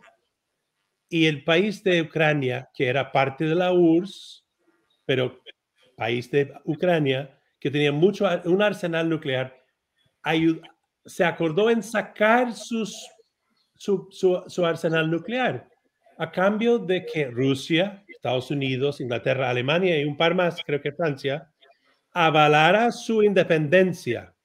Entonces, si, si vuelves al año 94, vas a ver que eso también, un poco como dije antes, todo está dicho, todo está visto. Puedes verlo, se llama, e, es todo un acuerdo que Rusia ha violado, ¿no? Porque Putin se ha vuelto paranoico y cree que eh, así va a ser el, el gran hombre volviendo a, a, reposeer a los países que se fueron independientes con el colapso de la URSS. Estos países en muchos casos fueron países invadidos a la fuerza y ocupados por la fuerza durante generaciones por la URSS. Por algo han querido ser independientes, por algo se han unido a OTAN y la Unión Europea para que no los invade más. Eh, Ucrania no es parte de la OTAN y por eso no hay tropas de la OTAN peleando ahí, ¿no? En fin, eh, es todo un tema y obvio que hay gente que van a tomar, como la señora, un poco el punto de vista, un poco enmascarado de Putin, pero soy de la otra opinión. No, disculpe, no tomo, no tomo el punto de vista enmascarado de Putin, sino que, estoy tomando este datos internacionales. Es el, beligerante, ¿no? Bien, bueno, eh, llegamos al final, John Lee. Te agradecemos muchísimo esta conversación. En Tucumán te esperábamos con ansiedad y nos daba muchísimo gusto que hayas estado en esta primera edición de la clase magistral de periodismo y en homenaje a Tomás Eloy Martínez. Lo despedimos con un fuerte aplauso. Gracias por todo. Muy vale, Miguel. Muchas gracias otra vez. Ha sido un honor.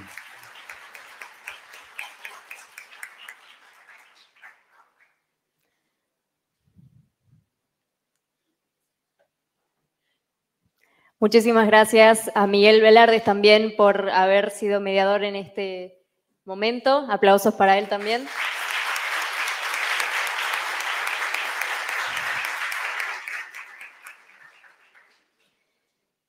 Después de esta interesante conversación, llegamos a uno de los momentos más especiales de este evento. La Universidad del Norte Santo Tomás de Aquino, a través del señor rector, entrega una distinción al doctor Daniel Desein. Daniel Desein nació en Tucumán en 1973. Es presidente del directorio de la Gaceta, presidente de ADEPA y vicepresidente regional de la Sociedad Interamericana de Prensa. Periodista y abogado por la UCA, hizo una maestría en Relaciones Internacionales en la UAI y cursos de periodismo en el Freedom Forum y la Fundación Gabo. A los 37 años se convirtió en el presidente más joven de ADEPA, cargo que ocupó en cuatro periodos. Es el único hispanoamericano que integró el comité ejecutivo de la Asociación Mundial de Editores, la organización más representativa de la prensa a nivel mundial. Hoy es el único argentino que integra su junta asesora desde 2018 es miembro del Foro Iberoamericano, entidad que nuclea a, a, expresidentes científicos, escritores y empresarios como Felipe González, Ricardo Lagos, Fernando Enrique Cargoso y Carlos Slim. En 2019 fue designado miembro de número de la Academia Nacional de Periodismo. Es uno de los dos integrantes más jóvenes de la historia de esta institución y el único representante de un medio del interior. Fue presidente de la agencia de noticias DIN, miembro del Foro de Negocios del G20 y del Comité Ejecutivo de Fundación Leer. Publicó sus artículos en 170 medios de 17 países, entre otros el Nuevo Herald, The Middle East Times, El Tiempo, El Universo, El Mercurio, La Tercera, El Informador, La Vanguardia, La Nación, Clarín, Perfil, Noticias, El Cronista y los principales medios de 20 provincias argentinas. Es autor, coautor y compilador de 20 libros. Es editor de la Gaceta Literaria y de la revista Tendencias e Innovación. Obtuvo, entre otros reconocimientos, el Laurel de Plata al Periodista del Año del Rotary Buenos Aires y el Premio a la Excelencia en la Sociedad Argentina de Filosofía. Dictó conferencias, expuso sobre la situación de la prensa en más de 100 universidades, academias y congresos en 20 países. Invitamos entonces al señor rector de la Universidad del Norte, Santo Tomás de Aquino, Magister Francisco López Cruz, a hacer uso de la palabra.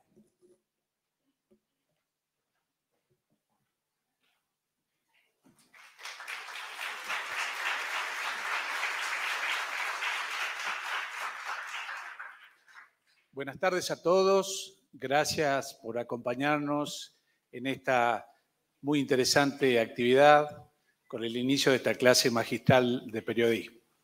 Aprovecho la oportunidad para felicitar, ¿no? Para felicitar todo lo que se ha organizado desde la facultad, en particular eh, lo que ha hecho el director de la carrera de comunicación social y me alegra mucho ver alumnos, ¿no? Me alegra mucho eh, aparte de docentes, ver alumnos interesados en participar en algo tan interesante como lo que hemos escuchado. Esta, esta conversación eh, que hemos tenido con una persona de la talla del periodista que recién nos habló, con tanta experiencia en el campo del periodismo, de la investigación y todo su conocimiento sobre que no podía ser más actual que el tema de la guerra de Rusia y Ucrania que hemos podido escuchar. Pero yo quiero agradecer a los organizadores, por supuesto a la Gaceta que nos acompaña, a la Fundación Eloy Martínez, a el, diario que también nos acompaña eh, y en la actividad que tendremos hoy. Y quería aprovechar o queremos aprovechar para hacer un homenaje, porque tenemos el privilegio de recibir en nuestra casa a una distinguida figura pública de la talla de Daniel Desey, persona reconocida no solo en el campo del periodismo, sino también en el campo de las letras y en el campo del derecho, como es su formación de grado.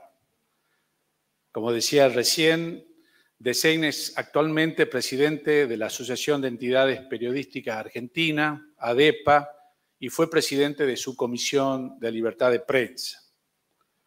Eh, no quiero repetir todo su currículum, pero bueno, es miembro del Foro Iberoamérica que está conformado por personalidades como los expresidentes Felipe González, Fernando Enrique Cardoso y Ricardo Lagos, empresarios como Carlos Slim, escritores como Sergio Ramírez y directivos periodísticos como Yao Roberto Mariño. Ya eh, Desein fue presidente de ADEPA en tres periodos e integra el directorio de la Gaceta desde el año 2001 y desde el año 2010 es editor de la Gaceta Literaria. Es abogado, tiene un posgrado en Relaciones Internacionales y estudios de, periodismo en el Freedom Forum y en la Fundación Gabo, la Fundación García Márquez. Eh, entre otras distinciones, recibió el premio al periodista del año del Rotary en Buenos Aires en el año 2014. Y lo que quiero mencionar es que en diciembre del 2019, la Academia Nacional de Periodismo eligió a los nuevos académicos de número. Aquella vez uno de los elegidos fue precisamente Daniel Desey. Este gran periodista se incorporó a la emblemática institución junto a otros colegas de FUSTE, como son los periodistas Hugo Alconada Amón, María O'Donnell, Gustavo González, Héctor Guyot, Mancero Longobardi y Ernesto Tenenbaum, entre otros. En definitiva, un hombre íntegro y fiel defensor de la libertad de expresión. Hoy nos enorgullece hacer la entrega de esta distinción por parte de nuestra universidad, la Universidad del Norte Santo Tomás de Aquino, un merecido premio al señor Daniel Desein por su lucha incansable en defensa del derecho de la información y por su valioso aporte a mejorar la calidad del periodismo latinoamericano.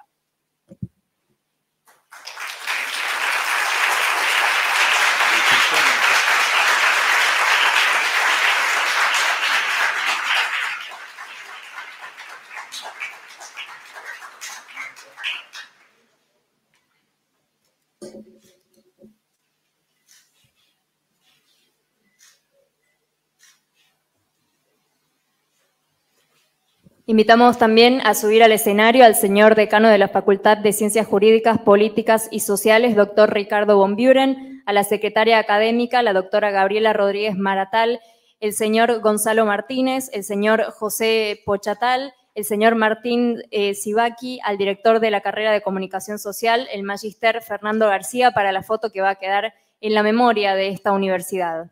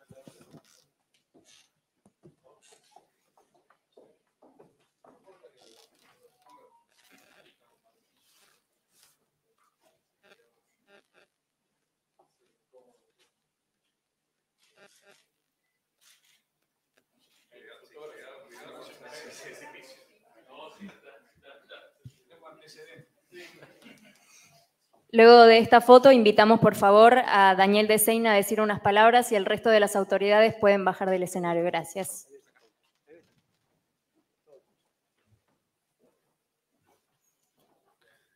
Hola, buenas tardes a todos. Bueno, muchísimas gracias a, las autoridades de la USTA, al rector, al decano y al director de la carrera de comunicación. Eh, no es un reconocimiento más para mí, es una primero que es un reconocimiento que recibo en mi provincia natal, en Tucumán, en una universidad que es una institución en cuyo cuerpo docente hay muchas personas que, estimo y respeto. Acabamos de tener un, enorme privilegio que es escuchar a uno de los mayores cronistas del mundo, que es John Lee Anderson.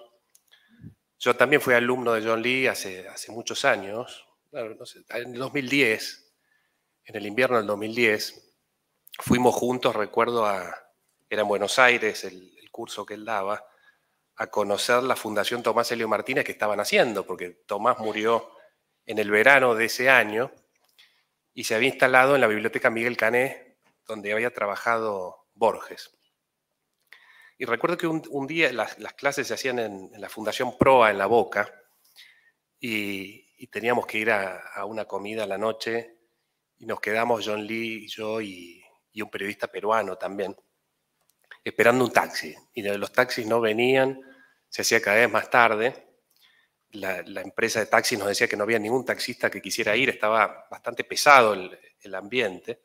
Y yo le estaba preguntando cuál había sido el momento de mayor riesgo de su carrera, que era muy difícil. Me dijo, es muy difícil responder esa pregunta porque efectivamente, como ustedes escucharon, John Lee tuvo infinidad de, momentos de, extremo riesgo. Me dijo, mira, estoy dudando entre una vez que me apresaron unos militantes del Hamas en Gaza y me habían atado en la cúpula de, un templo musulmán y otra vez que estaba que había hecho una crónica a un capo narco en una favela en Río de Janeiro y el capo quedó tan encantado con la forma que yo relataba su vida que me quiso retener y no me quería dejar ir. Bueno, finalmente apareció un taxi y John Lee le, preguntó al, pasó por la calle, lo paramos, le preguntó al chofer por qué, por qué ningún taxista quería ir y, el taxista le dijo, no, no, no, acá cocodrilo que duerme es cartera. Y le encantó la frase y dijo, John Lee, voy a usar esa frase en, un artículo. Bueno, me pidieron que cuente algo sobre, sobre Tomás Eloy. ¿Quién era Tomás Eloy? García Márquez lo definió como el mejor de todos. La historia de Tomás Eloy con el periodismo empezó en Tucumán, en 1951, una tarde en que Tomás teniendo 15 años, estudiante de colegio, fue con su padre, con el abuelo de Gonzalo que está acá, a ver a mi padre, que era un joven editor de la Gaceta con 23 años y que dos años antes había iniciado una página cultural en el diario. Le llevó una, una reseña de un libro de T.S. Eliot. Mi padre encontró algunos defectos formales, pero también algunas virtudes prematuras en la forma de adjetivar y dijo que lo intentara de nuevo. A la semana volvió con una reseña de un libro de Vasco Pratolini y esa fue la primera nota que Tomás publicó en un medio de comunicación. A partir de allí sus colaboraciones se hicieron muy asiduas, luego empezó a publicar poemas, poemas cuyos títulos elegía poniendo al azar su dedo sobre una página de la Biblia.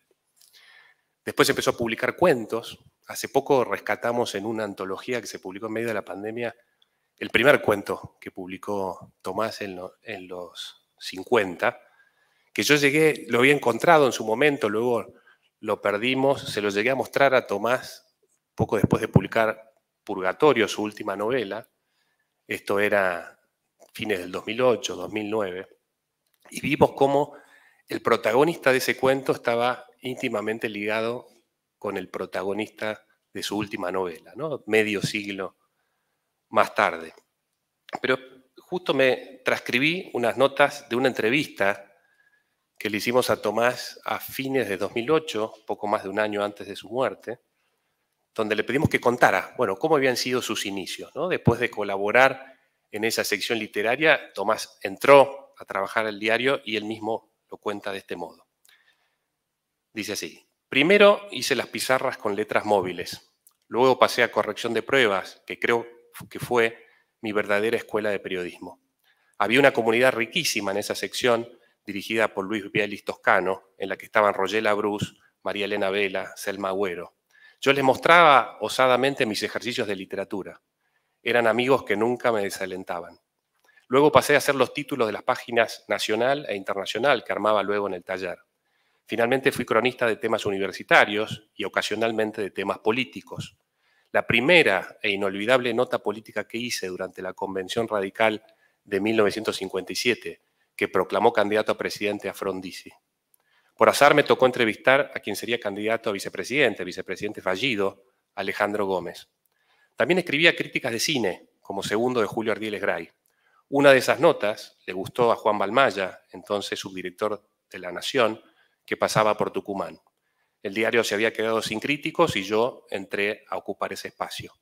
Pero seguí unido a Tucumán a través de mis colaboraciones en la Gaceta Literaria que nunca se interrumpieron. La Gaceta fue una escuela entrañable.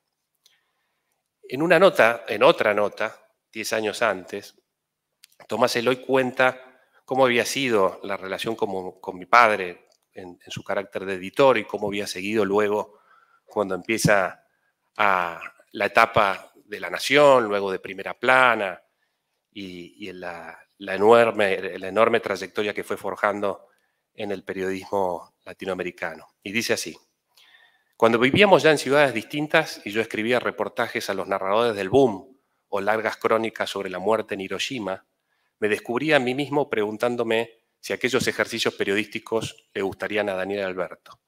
Tanto confiaba en la inteligencia de sus lecturas que durante años, creo, escribí solo para que él me leyera. Yo sería alguien mucho más inseguro y, más inhábil de lo que soy si él no me hubiese abierto las puertas de la Gaceta. Fin de la cita. Bueno, hoy podemos decir que el periodismo latinoamericano sería mucho más inseguro e inhábil de lo que es sin las lecciones de Tomás. Una de esas grandes lecciones se condensó en una conferencia en la Asamblea Anual de la Sociedad Interamericana de Prensa en el año 97, un año después de otra conferencia muy recordada que fue la de García Márquez, donde dijo, hoy se mencionó la frase que ha quedado inmortalizada, cuando calificó al periodismo como el mejor oficio del mundo. Bueno, al año siguiente la conferencia de Tomás se, llama, se llamó Periodismo y Narración, la pueden encontrar en la página de, la Fundación y en, muchos otros sitios. Y hay un, par de frases interesantes para, para que después reflexionemos. Dice, el periodista debe ser una voz a través de la cual se puede pensar la realidad reconocer las emociones y las tensiones secretas de la realidad, entender el por qué y el para qué y el cómo de las cosas con el, con el deslumbramiento de quien las está viendo por primera vez. Cada vez que las sociedades han cambiado de piel cada vez que el lenguaje de las sociedades se modifica de manera radical, los primeros síntomas de esas mudanzas aparecen en el periodismo. En el gran periodismo se puede siempre descubrir, y se debe descubrir, cuando se trata de gran periodismo, los modelos de la realidad que se avecinan y que aún no han sido formulados de manera consciente. Bueno, allí toca Tomás un tema que ha estado presente, ¿no? lo que, lo que contaba recién John Lee, sobre los tiempos turbulentos que vivimos, cuando la historia se acelera, cuando vemos grandes cambios que van a modificar la vida de todos. Y eso me lleva a pensar en, en, otro, en otro gran cronista y novelista además, eh, contemporáneo, que es Jorge Carrión, casualmente lo acabamos de entrevistar, estuvo en estos días en Buenos Aires y la nota va a salir en la Gaceta Literaria de este, de este domingo. Y Jorge publicó un libro sobre la pandemia durante la pandemia, que se llama Lo Viral, y que arranca así, estoy citando memoria, algo así. Dice, el 14 de octubre de 2019, por la mañana, un virus desconocido entró al organismo de un ciudadano también desconocido en la ciudad de Wuhan. Por la tarde comenzó el siglo XXI. Bueno, lo que, lo que Carrión intenta hacer ahí es la anatomía de un instante histórico, ¿no? tratar de captar, de descomponer un momento en el que concluye una era y se inicia otra, y de alguna manera con esta idea de que el siglo XX está recién concluyendo con esta pandemia, desafía las ideas de otro autor, de un gran historiador inglés que es Eric Hobsbawm, que hablaba de los, de los siglos largos y los siglos cortos, entendidos por su cohesión histórica, siglos que no necesariamente en ese sentido concluían en un año cero y empezaban en un año uno. Entonces teníamos de ese modo un siglo XIX largo que arrancaba con la Revolución Francesa y terminaba con la Primera Guerra y un siglo XX corto, que arrancaba con la guerra del 14 y terminaba con la implosión de la Unión Soviética en 1991. Bueno, Carrión dice, bueno, quizás no fue ese el momento, ¿no? quizá el momento es ahora, con lo que está pasando. Y la pandemia, bueno, implicó un extraordinario desafío para, para todas las sociedades y, y para el periodismo. El periodismo tuvo que cubrir el acontecimiento de mayor magnitud desde el punto de vista periodístico, el que recibió más cantidad de páginas en los medios gráficos, más minutos de audio, más cantidad de imágenes en la historia. Y las crisis siempre lo que hacen es acelerar tendencias que implican el debilitamiento de las posibilidades materiales para ejercer ese oficio. Pero con estas restricciones el periodismo fue más necesario que nunca, fue más vital en el pleno sentido del término porque debimos combatir esa otra peste que ya estaba y que se convertía, que adquiría mayor letalidad durante los meses de, la pandemia que todavía no, no ha terminado, ¿no? Ya que la, desinformación podía dinamitar la posibilidad de actuar de manera cooperada para resolver un problema global. Todos podíamos contagiarnos, ¿sí? todos podíamos enfermarnos, todos podíamos morir, y la única manera de salir de ello era a través de una actitud colectiva que requería información adecuada para poder, para poder actuar. Bueno, ahora eh, John Lee habló mucho de Ucrania y ahí vemos otra cuestión, ¿no? Muchos piensan que quizá el siglo XXI está comenzando no solamente con la peste, sino con otro acontecimiento de una envergadura extraordinaria, que es la invasión a, Ucrania, ¿no? Y de ese modo tendríamos un siglo XX que arranca con una guerra mundial seguida de una peste, con la gripe del 18, la gripe española, y estaría terminando con otra peste y otra guerra, quizás mundial también. Eso me recuerda a una frase que, citaba hace poco en, una nota y la, pregunta del estudiante acá, la última pregunta, la penúltima, me hacía eh, recordar a eso, ¿no? que es la relación del periodismo con la historia. Y el, divulgador más conocido de una frase que repetimos mucho, que es la del periodismo como el primer borrador de la historia, se llama Philip Graham. Philip Graham fue editor de, del Washington Post entre 1946 y 1963. Comenzó sus funciones cuando se iniciaba la Guerra Fría, después de la Segunda Guerra Mundial, y murió, se suicidó, acosado por una bipolaridad psiquiátrica, pocos meses después de la crisis de los misiles de octubre del 62. Es decir, el momento en que la humanidad estuvo más cerca de una conflagración atómica hasta hoy. Y lo paradójico no tanto ahí es que, ese hombre que desde uno de los medios más prestigiosos del mundo tuvo que cubrir la bipolaridad militar, política y económica que, afectaba a todo el mundo, murió finalmente acosado por, por una bipolaridad de tipo psiquiátrica. Hace poco lo que conversé con, Nelson Castro, que fue bueno, uno de los periodistas argentinos, de muchos periodistas argentinos, ya que nuestra prensa tuvo una, una participación muy relevante en, el terreno en, Ucrania. Y Nelson le había tocado por casualidad estar en Manhattan en la mañana del 11 de septiembre de 2001, en el atentado a las torres. Entonces le pedí que me comparara una situación con la otra me dijo, bueno, la primera diferencia es que cuando yo, estaba, yo estuve en, en Nueva York me tocó cubrir un acontecimiento que si bien iba a generar una cantidad de consecuencias, había terminado, que era el atentado. ¿sí? En Ucrania me, toca, me tocó cubrir un acontecimiento en pleno desarrollo y que sigue en desarrollo. En segundo lugar, 2001, en 2001 no existía Facebook. ¿sí? En 2001 no existían los teléfonos inteligentes. En Ucrania todos los que están en el terreno pueden de una u otra forma cubrir lo que, lo que allí ocurre. Y eh, hace, hace poco lo escuchaba Joaquín Sánchez Mariño, otro de los periodistas que, estuvo allí, fue uno de los dos primeros argentinos que entró a, Kiev después de la invasión, y decía que una de las imágenes que más les quedó fue la del cruce de la frontera, desde Polonia en el camino hacia el VIP, entraba en un ómnibus que llevaba asistencia sanitaria para quienes intentaban salir o quienes estaban en, la frontera. Y, en el carril de entrada iba, iba prácticamente solo, con muy poco tráfico, y en el de salida había kilómetros de ómnibus, de autos, de gente eh, a pie que intentaba salir del lugar. Y eso nos, recuerda a una de las tantas definiciones de, sobre qué son los periodistas, que los define como esos hombres o esas mujeres que quieren entrar al lugar del que todo el mundo quiere salir. Y tuvimos múltiples muestras de coraje, ya hay 21 periodistas muertos en, Ucrania, pero tanto del lado interno de las fronteras ucranianas como del otro lado, del lado ruso.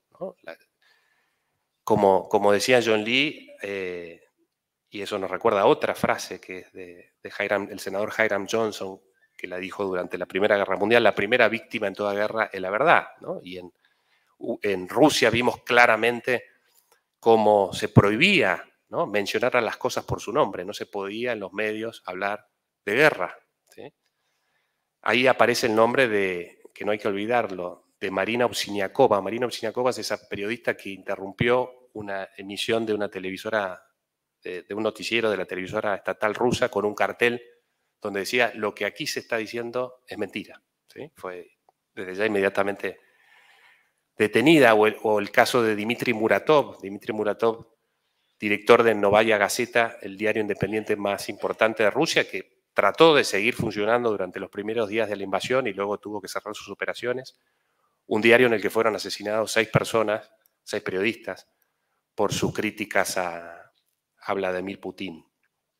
El propio Muratov hoy está exiliado y Muratov decía, lo, lo vi en un congreso la semana pasada, la guerra en un país totalitario empieza antes de que se desaten las acciones bélicas, empieza con la propaganda. Esa es la herramienta que tiene el totalitarismo para generar el terreno fértil para que se apoye una, una guerra. Y el gran antídoto desde ya para la propaganda es, es el periodismo. estos momentos sirven para recordar en una época en que se ha cuestionado tanto la función del periodismo, con el surgimiento de las redes sociales, de la posibilidad de participación de los ciudadanos en la construcción de la noticia, en este ecosistema tan contaminado por tergiversaciones, ¿sí? por noticias falsas, por múltiples, por múltiples distorsiones. En definitiva, creo que lo, importante en estos tiempos turbulentos y de, y de aceleración donde es tan, tan difícil hacer periodismo por este tipo de restricciones en los países totalitarios. En los países democráticos, bueno, recordamos que el gran aliado ¿no? para combatir los, aprestos belicistas es la libertad de expresión. Guerras como la de Vietnam pudieron frenarse por ciertas imágenes, como la foto de la niña en Napalm, que generaron protestas que fueron impulsando a un gobierno como el americano a, poner fin a su participación. Eso en los gobiernos consejos autoritarios es mucho más difícil. Eh, pero también ahí lo que, lo que intenta hacer el periodismo en circunstancias como esta es tratar de vislumbrar un rumbo de la historia, ¿no? escribir ese, ese primer capítulo de una historia que cambia de manera, de manera extraordinaria siempre con la esperanza de que la visión de ese horizonte oscuro quizá impida un rumbo equivocado, un rumbo trágico. Gracias.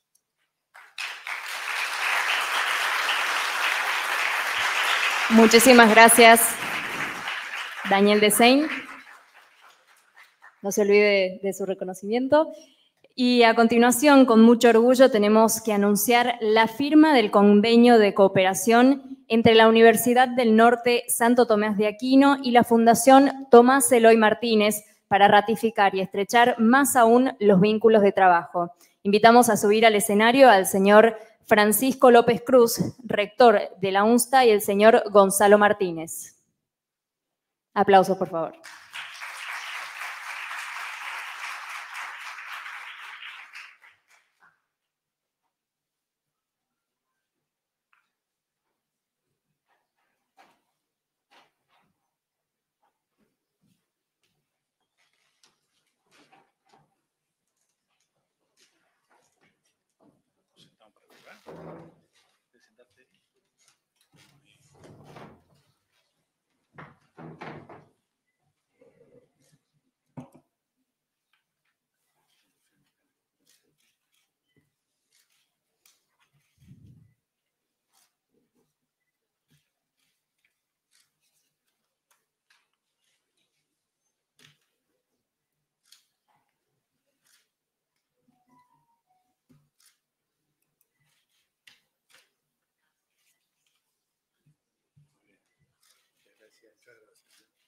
Un aplauso entonces para este convenio entre la UNSTA y la Fundación Tomás Eloy Martínez. Invitamos a que diga unas palabras. Aquí.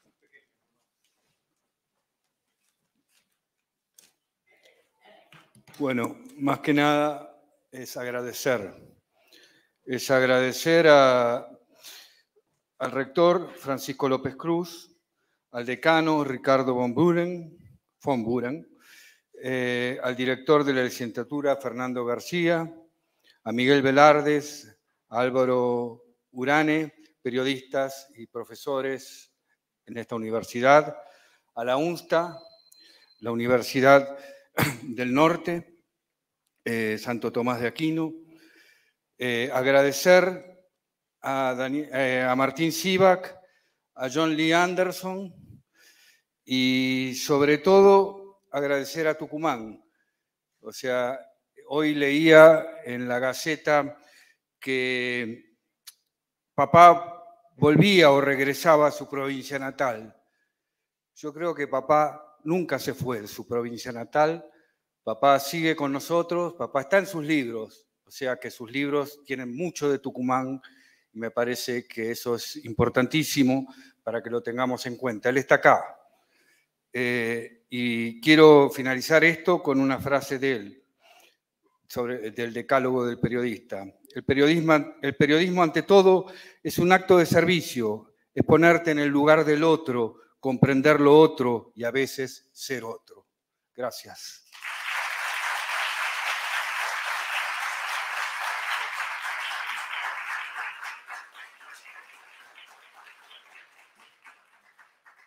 Para seguir con esta clase magistral, tenemos el agrado de recibir en nuestra Casa de Altos Estudios al periodista Martín Sivak, quien nos va a hablar sobre desafíos del periodismo en la era digital. Invitamos al periodista y docente de la carrera de comunicación, al señor Álvaro Aurane, y a nuestro invitado especial, Martín Sivak, a subir al escenario, por favor. Martín Sivak es un periodista y autor argentino. Es director periodístico del diario ar.com sus libros de no ficción incluyen trabajos sobre presidentes bolivianos, Juan José Torres, Hugo Basner y Evo Morales. Por favor, ubíquese ahí, muchísimas gracias. Es sociólogo por la Universidad de Buenos Aires, siguió los estudios eh, de doctorado en Historia en América Latina en la Universidad de Nueva York, ha colaborado con diarios y revistas de la Argentina y América Latina y participó en ciclos de radio y televisión. Publicó El asesinato de Juan José Torres, el dictador elegido, biografía no autorizada de Hugo Basner Suárez, El doctor, biografía no autorizada de Mariano Grondona, Santa Cruz, una tesis y Clarín, el gran diario argentino, una historia. Jefazo, retrato íntimo de Evo Morales, fue traducido al inglés, francés, italiano y chino. Con ustedes entonces Martín Sivak y Álvaro Aurane. Aplausos, por favor.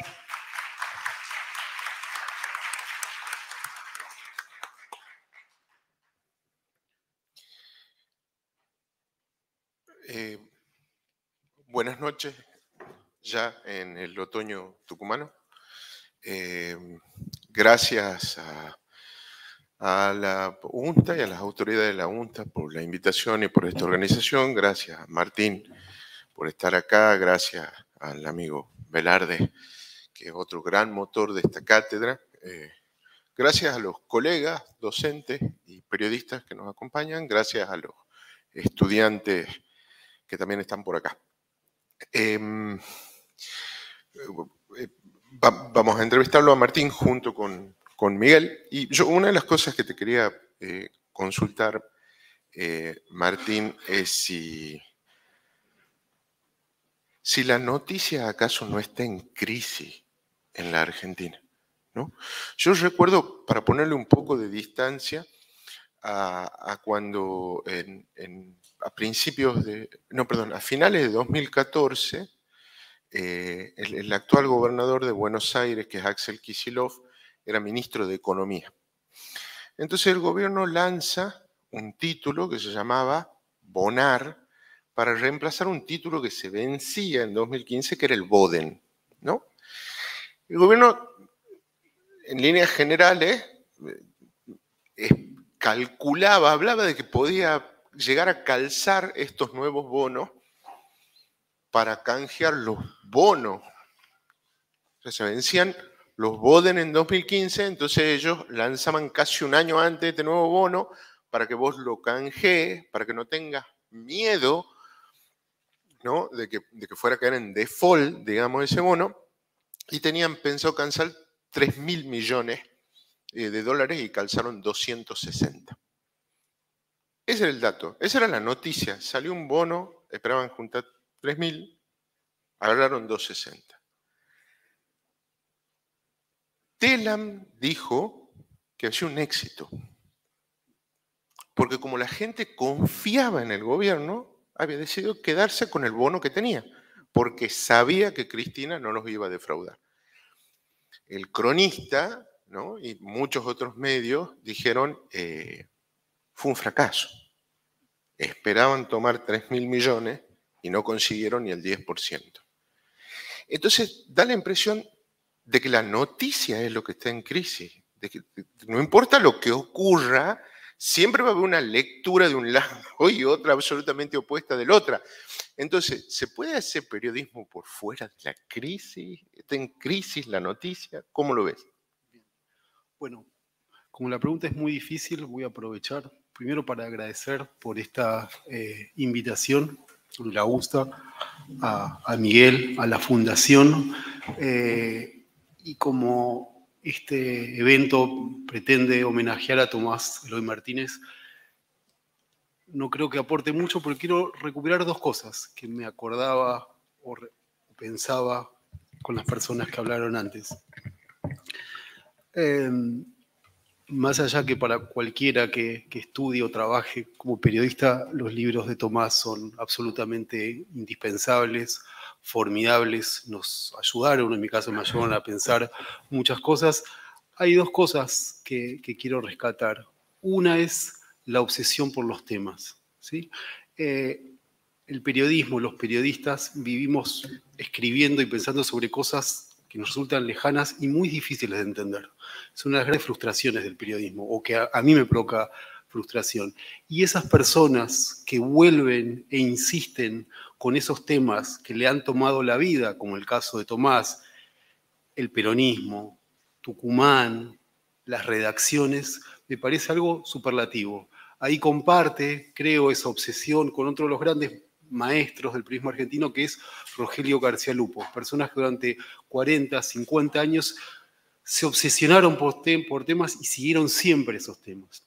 Y otra cuestión de Tomás que quisiera destacar hoy tiene que ver con una un constante y persistente interés por las nuevas generaciones. Estar muy, pero muy atento a las nuevas escritoras, los nuevos escritores, lo nuevo que se producía. Es decir, muchas veces los lugares estelares hacen que estas estrellas o que estas eh, voces fuertes tomen distancia ¿sí? de lo nuevo que se va produciendo y Tomás tenía un gran vínculo con las nuevas cosas que fueron apareciendo. Y con muchos de nosotros fue muy generoso en muchos sentidos. Así que no quería, antes de contestar tu difícil pregunta, recordar esas dimensiones de Tomás, que supongo que son muchísimas, pero que para mí son, quería dejar eh, sentado.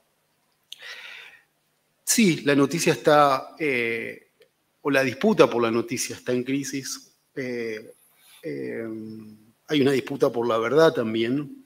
Eh, y como es un tema sobre el cual yo no ni pensé, ni escribí, ni leí tanto, sí te puedo decir eh, que para el diario AR, que es el medio que dirijo, y una de las razones por las cuales lanzamos este diario es para recuperar la confianza de los lectores y las lectoras. Es decir, nosotros hace una semana cerramos una encuesta que contestaron 960 lectores y lo que más aparecía como rasgo del diario era la confiabilidad. Y a mí eso fue una de las grandes gratificaciones porque nosotros apostamos en el diario AR a que quien entra sienta confianza porque detrás del diario, como dice nuestro eslogan, solo hay periodistas y lectores. Y esto es muy, pero muy importante. Nosotros tenemos una política de hipertransparencia.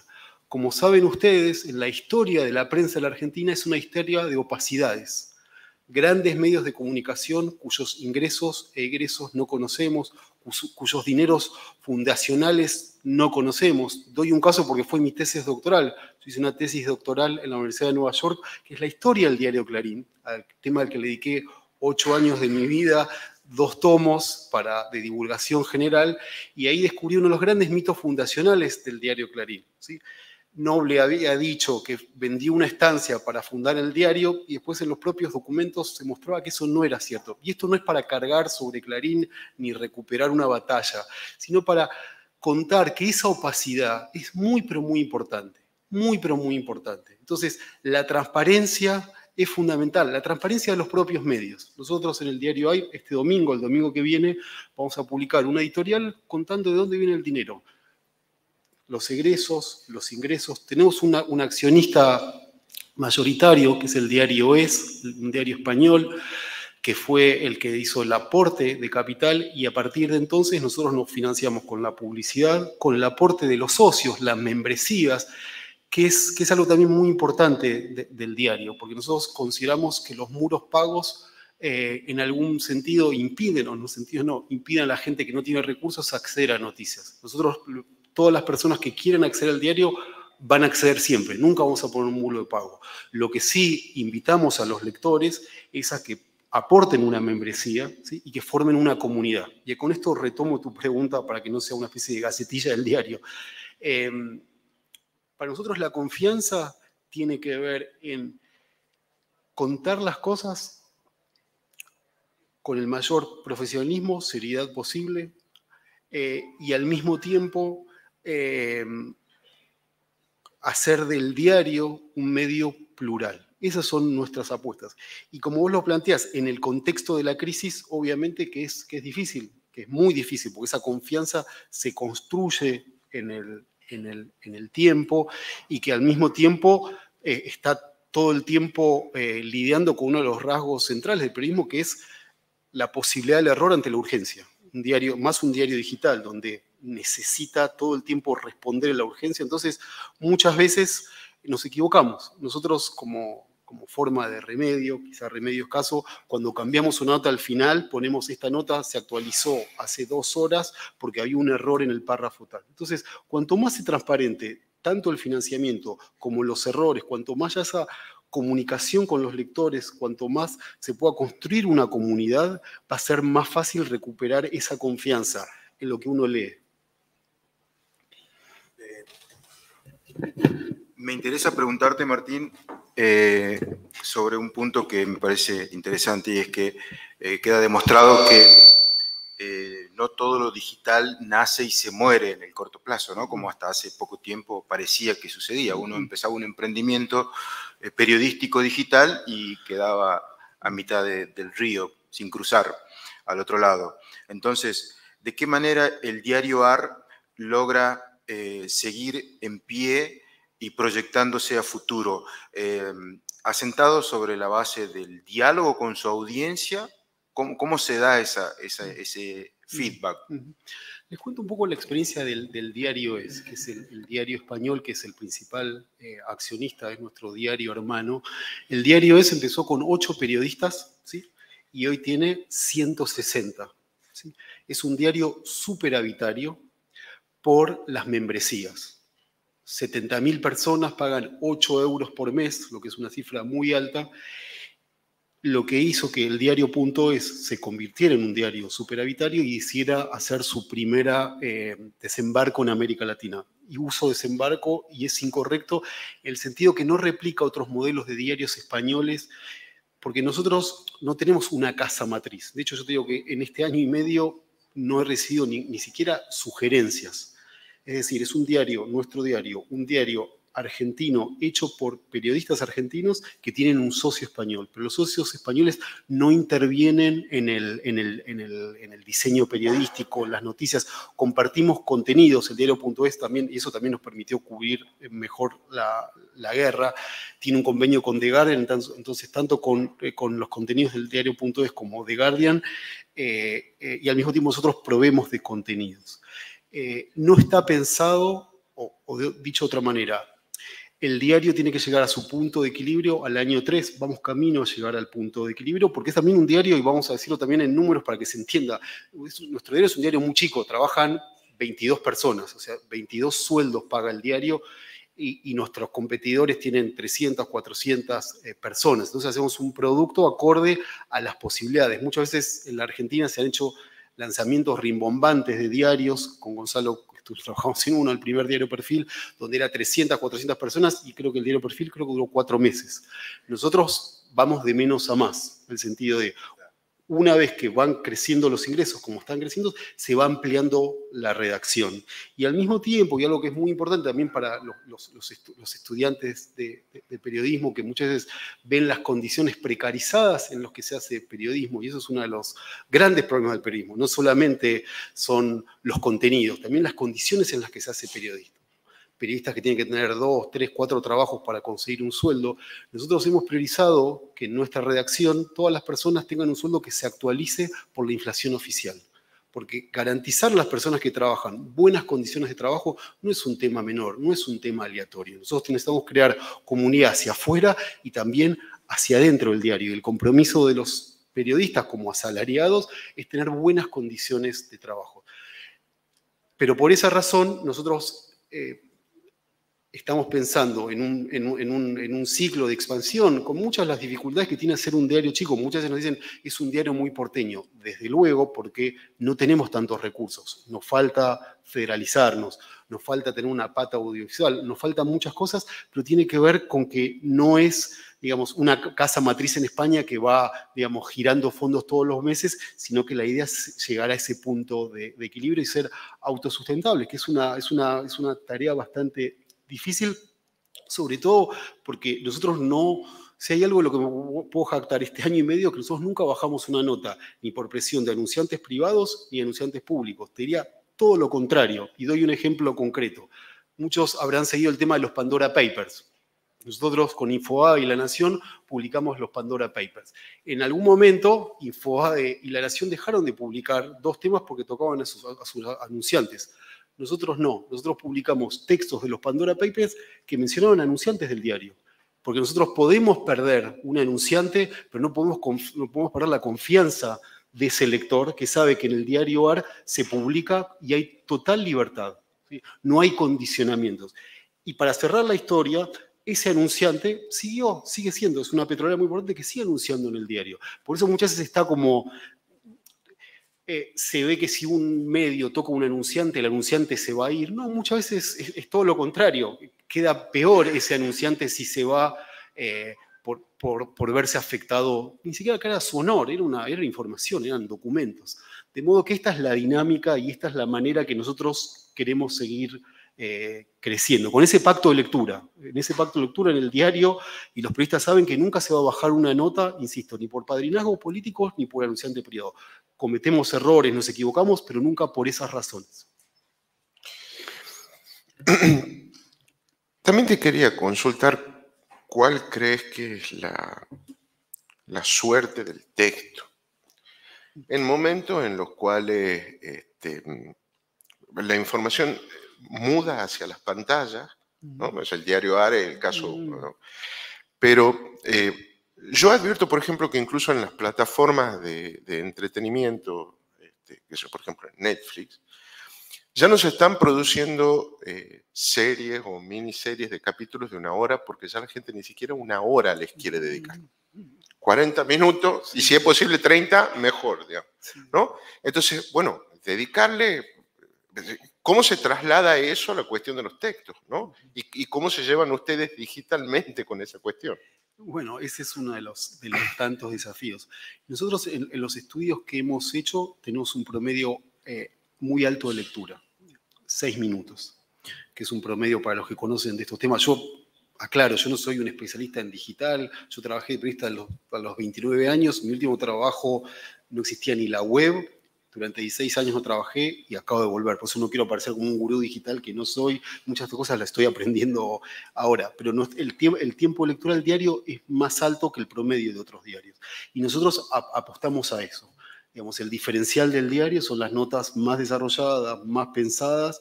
eh, y nosotros no hacemos virales, que como ustedes saben es un recurso muy extendido en, en los medios, los videos de los los cinco gatitos más mimosos o todo ese tipo de cosas no lo hacemos porque queremos que también, o queremos tener una audiencia, no tengo ningún problema con las mascotas, me gusta, tengo mascotas, pero nosotros apostamos a, un lector que quiera informarse, pensar, también entretenerse, que es un, sin ser solemne, nosotros muchas veces caemos en la solemnidad. Entonces, frente a eso, lo que hacemos es, digamos, eh, hay temas de la agenda del día que, los tenemos porque, digamos, hay que decir algo, pero nuestra propuesta es más a los que quieren, a, los que quieren leer. Y en las métricas, las notas más leídas, las notas más leídas del diario son las que cuentan historias, las que tienen mejor foco, las que tienen más tiempo de trabajo, las, que, las opiniones, las opiniones son muy leídas en el diario.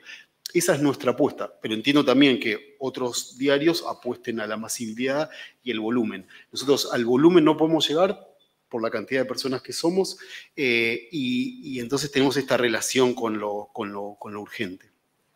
Bien. Em, Gonzalo mencionó hace un momento uno de los mandamientos del decálogo del periodismo que, hizo Tomás Eloy Martínez, y, eso me hizo acordar de otro, y que es uno de los primeros de la lista, y que dice que eh, el mayor patrimonio de un periodista es su buen nombre y honor, su credibilidad. ¿sí? Eh, él decía que al día siguiente de haber publicado un texto, el periodista tenía que poder caminar con la frente en alto, sabiendo que había hecho su trabajo de la mejor manera posible, pensando cada verbo, ¿sí? cada palabra de ese texto. Y apuntando a lo que vos mencionabas, Martín, del tema de la confianza, eh, ¿cómo es en el diario AR con 22 periodistas? Eh, Temprano John Lee hablaba de los fact-checkers, ellos tienen un departamento exclusivo para verificar datos y no cometer errores en sus textos. Eh, es más fácil eh, no cometer errores y verificar los datos en una redacción con 22 periodistas o es más difícil? ¿Cómo lo manejan a eso para no perder la confianza y mantener el axioma de Tomás Eloy Martínez sobre la credibilidad? Sí, e-, ese es un gran punto y también para eh, para que se vean las diferencias. ¿Por qué no existe una revista como The New Yorker en la Argentina? Porque los periodistas de New Yorker escriben cuatro notas por año. Cuatro notas extraordinarias, fenomenales. Yo estoy suscrito al New Yorker hace 20 años, soy un fanático del New Yorker. En esas condiciones se puede trabajar mejor. Si uno tiene tres meses para hacer una nota, es muy, muy distinto si uno tiene tres horas. No existe el departamento de fact-checkers en la Argentina, en, ningún diario, ni siquiera los que tienen más recursos. Los correctores, que eran nuestros aliados fundamentales, no, no, trabajan más en la mayoría de los diarios y esto forma parte de la precarización y la declinación en general en el ejercicio del periodismo y en la calidad del periodismo. Por eso siempre hay que volver sobre estos números y el mundo material de la prensa, para que no tengamos, siempre pensemos en, cuestiones más idealizadas sobre qué es el periodismo o cómo debería ser el periodismo.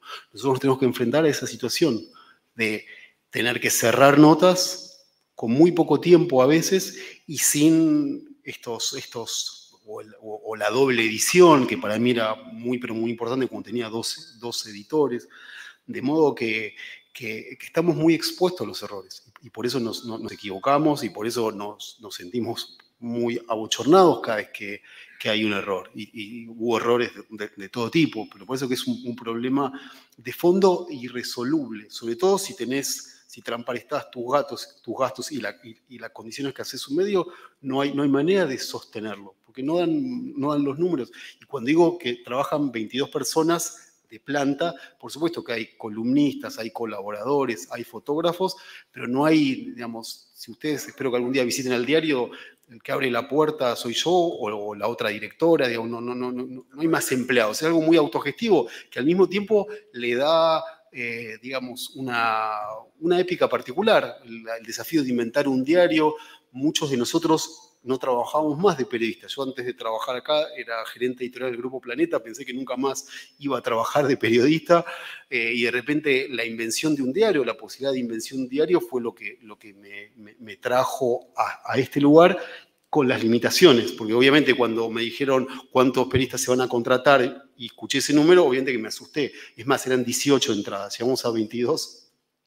Pero bueno, eh, vuelvo a la idea de, de menos a más. El diario.es empezando siendo 8 y ahora son 160. Nosotros queremos crecer y expandirnos. Y eso va a depender de si podemos conformar una comunidad de lectores que le importe el diario, una comunidad de lectores que no sea por afinidad ideológica o emocional, porque nosotros no, no participamos de la pelea facciosa en la Argentina, entonces queremos que los que paguen esos 490 pesos, quieran formar parte de la comunidad. Y la verdad que hay una comunidad muy activa y muy eh, exigente con el diario. Yo muy a menudo contesto correos de, socios que se enojan por tal o cual cosa.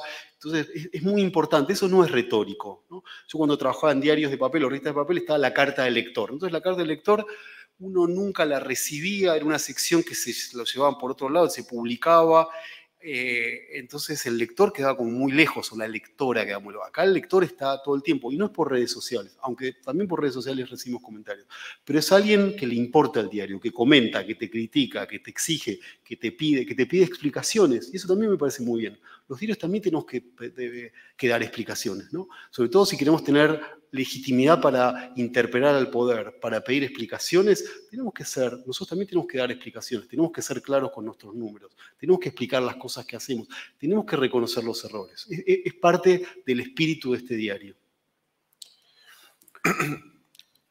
Cuando, eh, bueno, Miguel y yo trabajamos en el, en el diario La Gaceta hace más de dos décadas, mm. así que asistimos al parto de la Gaceta.com y, asistimos en tiempo real, claro, pues no, no, no, era, no era una, cuestión menor. Y el, lo que la Gaceta.com, apelando al mito ¿no? de que los niños siempre nacen y traen algo bajo el brazo, lo que trajo bajo el brazo fue el rating, el Charbit. Es decir, ahora ya teníamos en, en, en datos qué notas se leían más que otras cuales no se leían. este, o sea, habíamos, habíamos superado el, microclima y habíamos nacido a, tener un feedback de esa gran audiencia. ¿no? Es decir, che, más allá de que te llame tu mamá y te diga que el texto está muy lindo, bueno, había varios miles de lectores cliqueando ahí o no, ¿no? O, ni siquiera el conjunto de vecinos del edificio donde vivir.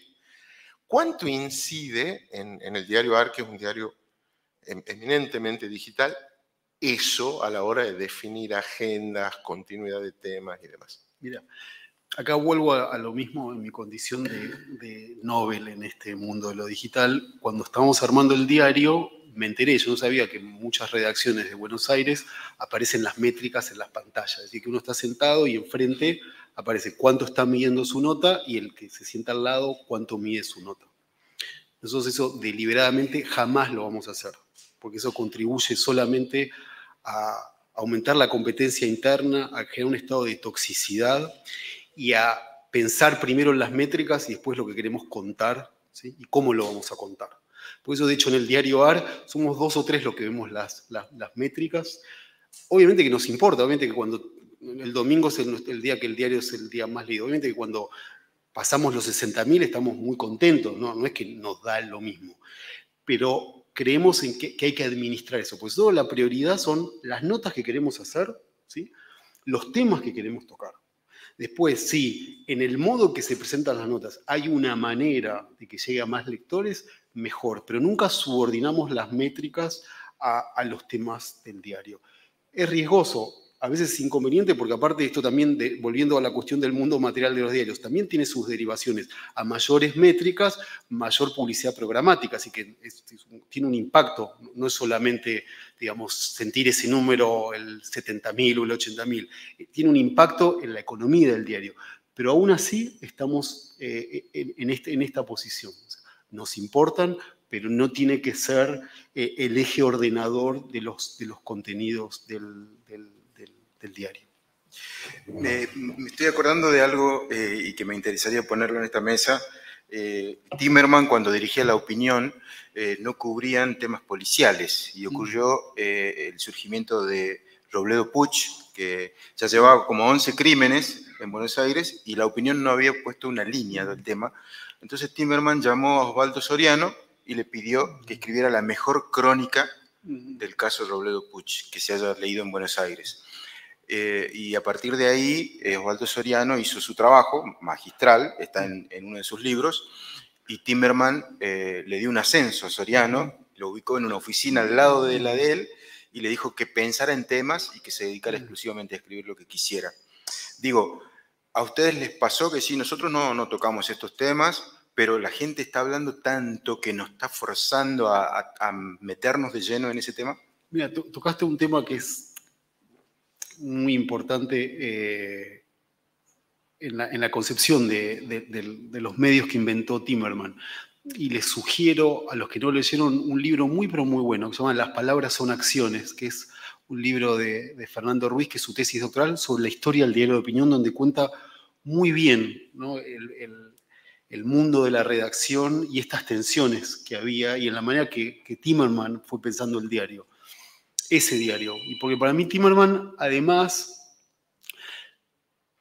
en, los, en los tres medios que fundó, tenía algo que para mí es muy, pero muy importante, es pensar que el, el único secreto son los buenos periodistas y las, buenas, y las buenas plumas. Es decir, cada tanto, cada vez que se inventa un medio, y esto en la Argentina ha pasado bastante, ¿no? Como cada medio viene a refundar el periodismo, viene a hacer todo de nuevo como si el pasado hubiese sido algo menor, malo. Eh, nosotros también tenemos ese espíritu, en el sentido de sentir que no queremos reinventar el periodismo, ni nos vamos a jurar o vamos a creer que somos la vanguardia de nada. Había en Timerman también una decisión de fondo que tenía que ver que policiales y deportes no estuvieran. ¿no? Eh, y después eh, se fue flexibilizando. Eh, en ese caso, digamos, las métricas de la época, porque creo que es del IBC, es del 67, o sea que ya la opinión tenía métrica, o sea, que estaba, estaba ese número, creo que era cada, tri- cada trimestralmente recibían los números, pero aparecían los números. Nosotros tenemos una, restricción, por ejemplo, el diario es nuestro principal accionista y socio, hermano mayor o hermano, como lo llaman ellos, no tienen deportes, que para mí es algo que me llamó mucho la atención. Por ejemplo, cuando Messi mandó el burofax, eso no salió en el diario. Estamos hablando de uno de los diarios más grandes de España, que decide no tener eh, de- deportes. Eh, nosotros tenemos una, tenemos noticias deportivas y dos notas semanales de deportes, es decir, lo, que nos abastecen las, las agencias y dos notas de fondo. Lo mismo con policiales, tenemos las noticias de las agencias. A mí me encantaría tener mucho más de ambas secciones, pero digamos, en, en la, en la- en la priorización de la agenda, por ejemplo, tenemos un lugar muy importante en las cuestiones ambientales, cosa que, digamos, jamás se me hubiese ocurrido que yo iba a trabajar en un diario donde la cuestión ambiental sea tan importante. Es lo que la época te impone y lo que nuestra agenda y nuestros lectores nos reclaman. Tener ¿sí? los temas ambientales muy, pero muy presentes. Con todas las dificultades, porque es un tema donde hay de un ambientalismo radical a... Nosotros tenemos tres empresas petroleras que anuncian el diario, entonces nosotros tenemos que tener ese registro al mismo tiempo generar contenido, generar una conversación, generar información. Eh, y ahí sí, diría que es un tema que la época nos, nos, no- nos, no- nos impuso.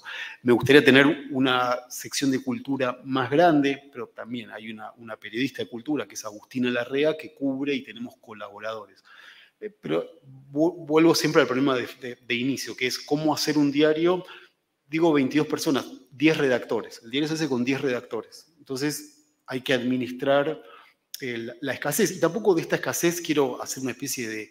de- esto no, no es un, un sacrificio que estamos haciendo. Hacemos, con, hacemos el, el diario en las condiciones que lo podemos hacer con la idea de, de- de- de ampliarnos. Policiales, de deportes, consumo, es algo que me gustaría que en una, una siguiente etapa del diario estuviese más, más, más presente.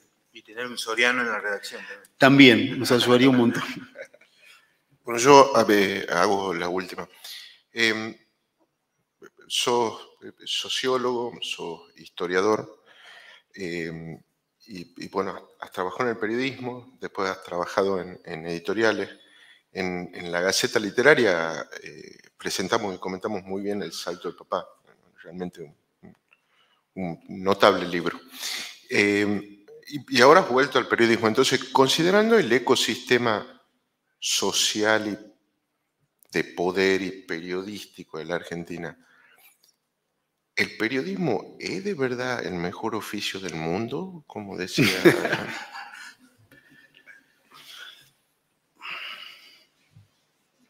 hasta los 29, o sea, yo de los 13 años hasta los 29 solamente quería ser periodista y era, te hubiese dicho categóricamente que sí. Eh, después a los 29 años me echaron de un lugar donde yo trabajaba. De hecho, este, o sea, estuve viendo el periodismo después de haber sido echado. Yo era redactor, me despidieron, eh, no por improductividad, sino porque eh, algunos dueños de medios les incomoda a las personas que queremos escribir sobre temas, entonces eso es una, es una tensión que, que existe, de modo que a los 29 me fui, te diría, no sé si frustrado, pero sí enojado. Es, una situación, nunca antes me habían despedido. Eh, y esos años, después de, gané una beca para estudiar en Inglaterra, hice una maestría, de ahí me dio una beca para hacer un doctorado y se me abrió eh, la docencia, me gustó mucho ser docente, eh, muchísimo, y todavía me, gusta, doy clase y lo, es algo que me, me importa mucho aprendí un oficio grande como ser editor de libros. Yo había estado del otro lado del mostrador, del lado de los autores, y fue muy bueno también trabajar cuatro años en el Grupo Planeta porque es también eh, aprender un oficio grande, se los recomiendo mucho, es algo eh, sí, que a mí me formó, me, hizo pensar cosas. Eh, así que te, diría que a riesgo de ser un diletante y alguien que, que no, no, tengo esa relación así tan de, identificarme. Si, o sea, si ahora cuando tenga que entrar al hotel y me va a preguntar profesión, siempre puse periodista, siempre me consideré periodista aunque no trabajé y siempre pensé como periodista, que es algo que obviamente en el doctorado o en la carrera de sociología, donde todos nos miran como un poco desdeñosamente a lo que trabajamos de periodista, por considerarlo algo menor, pero siempre pensé como periodista. Entonces, eso, eso lo, lo llevo. Es un oficio que puede ser muy hermoso y, sí, pero no, no, sé si es el mejor oficio del mundo. Lamento no... Eh, eh, no lo sé. ¿Ustedes qué piensan? ¿Que sí? Tiene momentos muy buenos. Tiene momentos muy buenos, sí, satisfacciones. La docencia en la UNTA es el mejor oficio del mundo.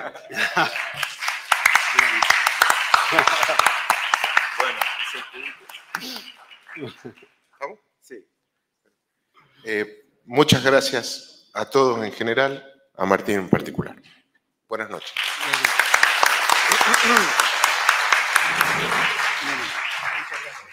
Muchísimas gracias a todos. Les recordamos que van a poder ver este evento en el canal de YouTube de Comunicación Social UNSTA en cuanto termine este evento finalmente.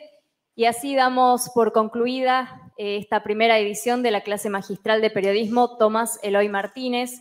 Muchísimas gracias a todos por asistir y esperamos que lo hayan disfrutado tanto como nosotros. Nos encantaría contar con su presencia en las próximas ediciones. Que tengan una linda noche y muchísimas gracias.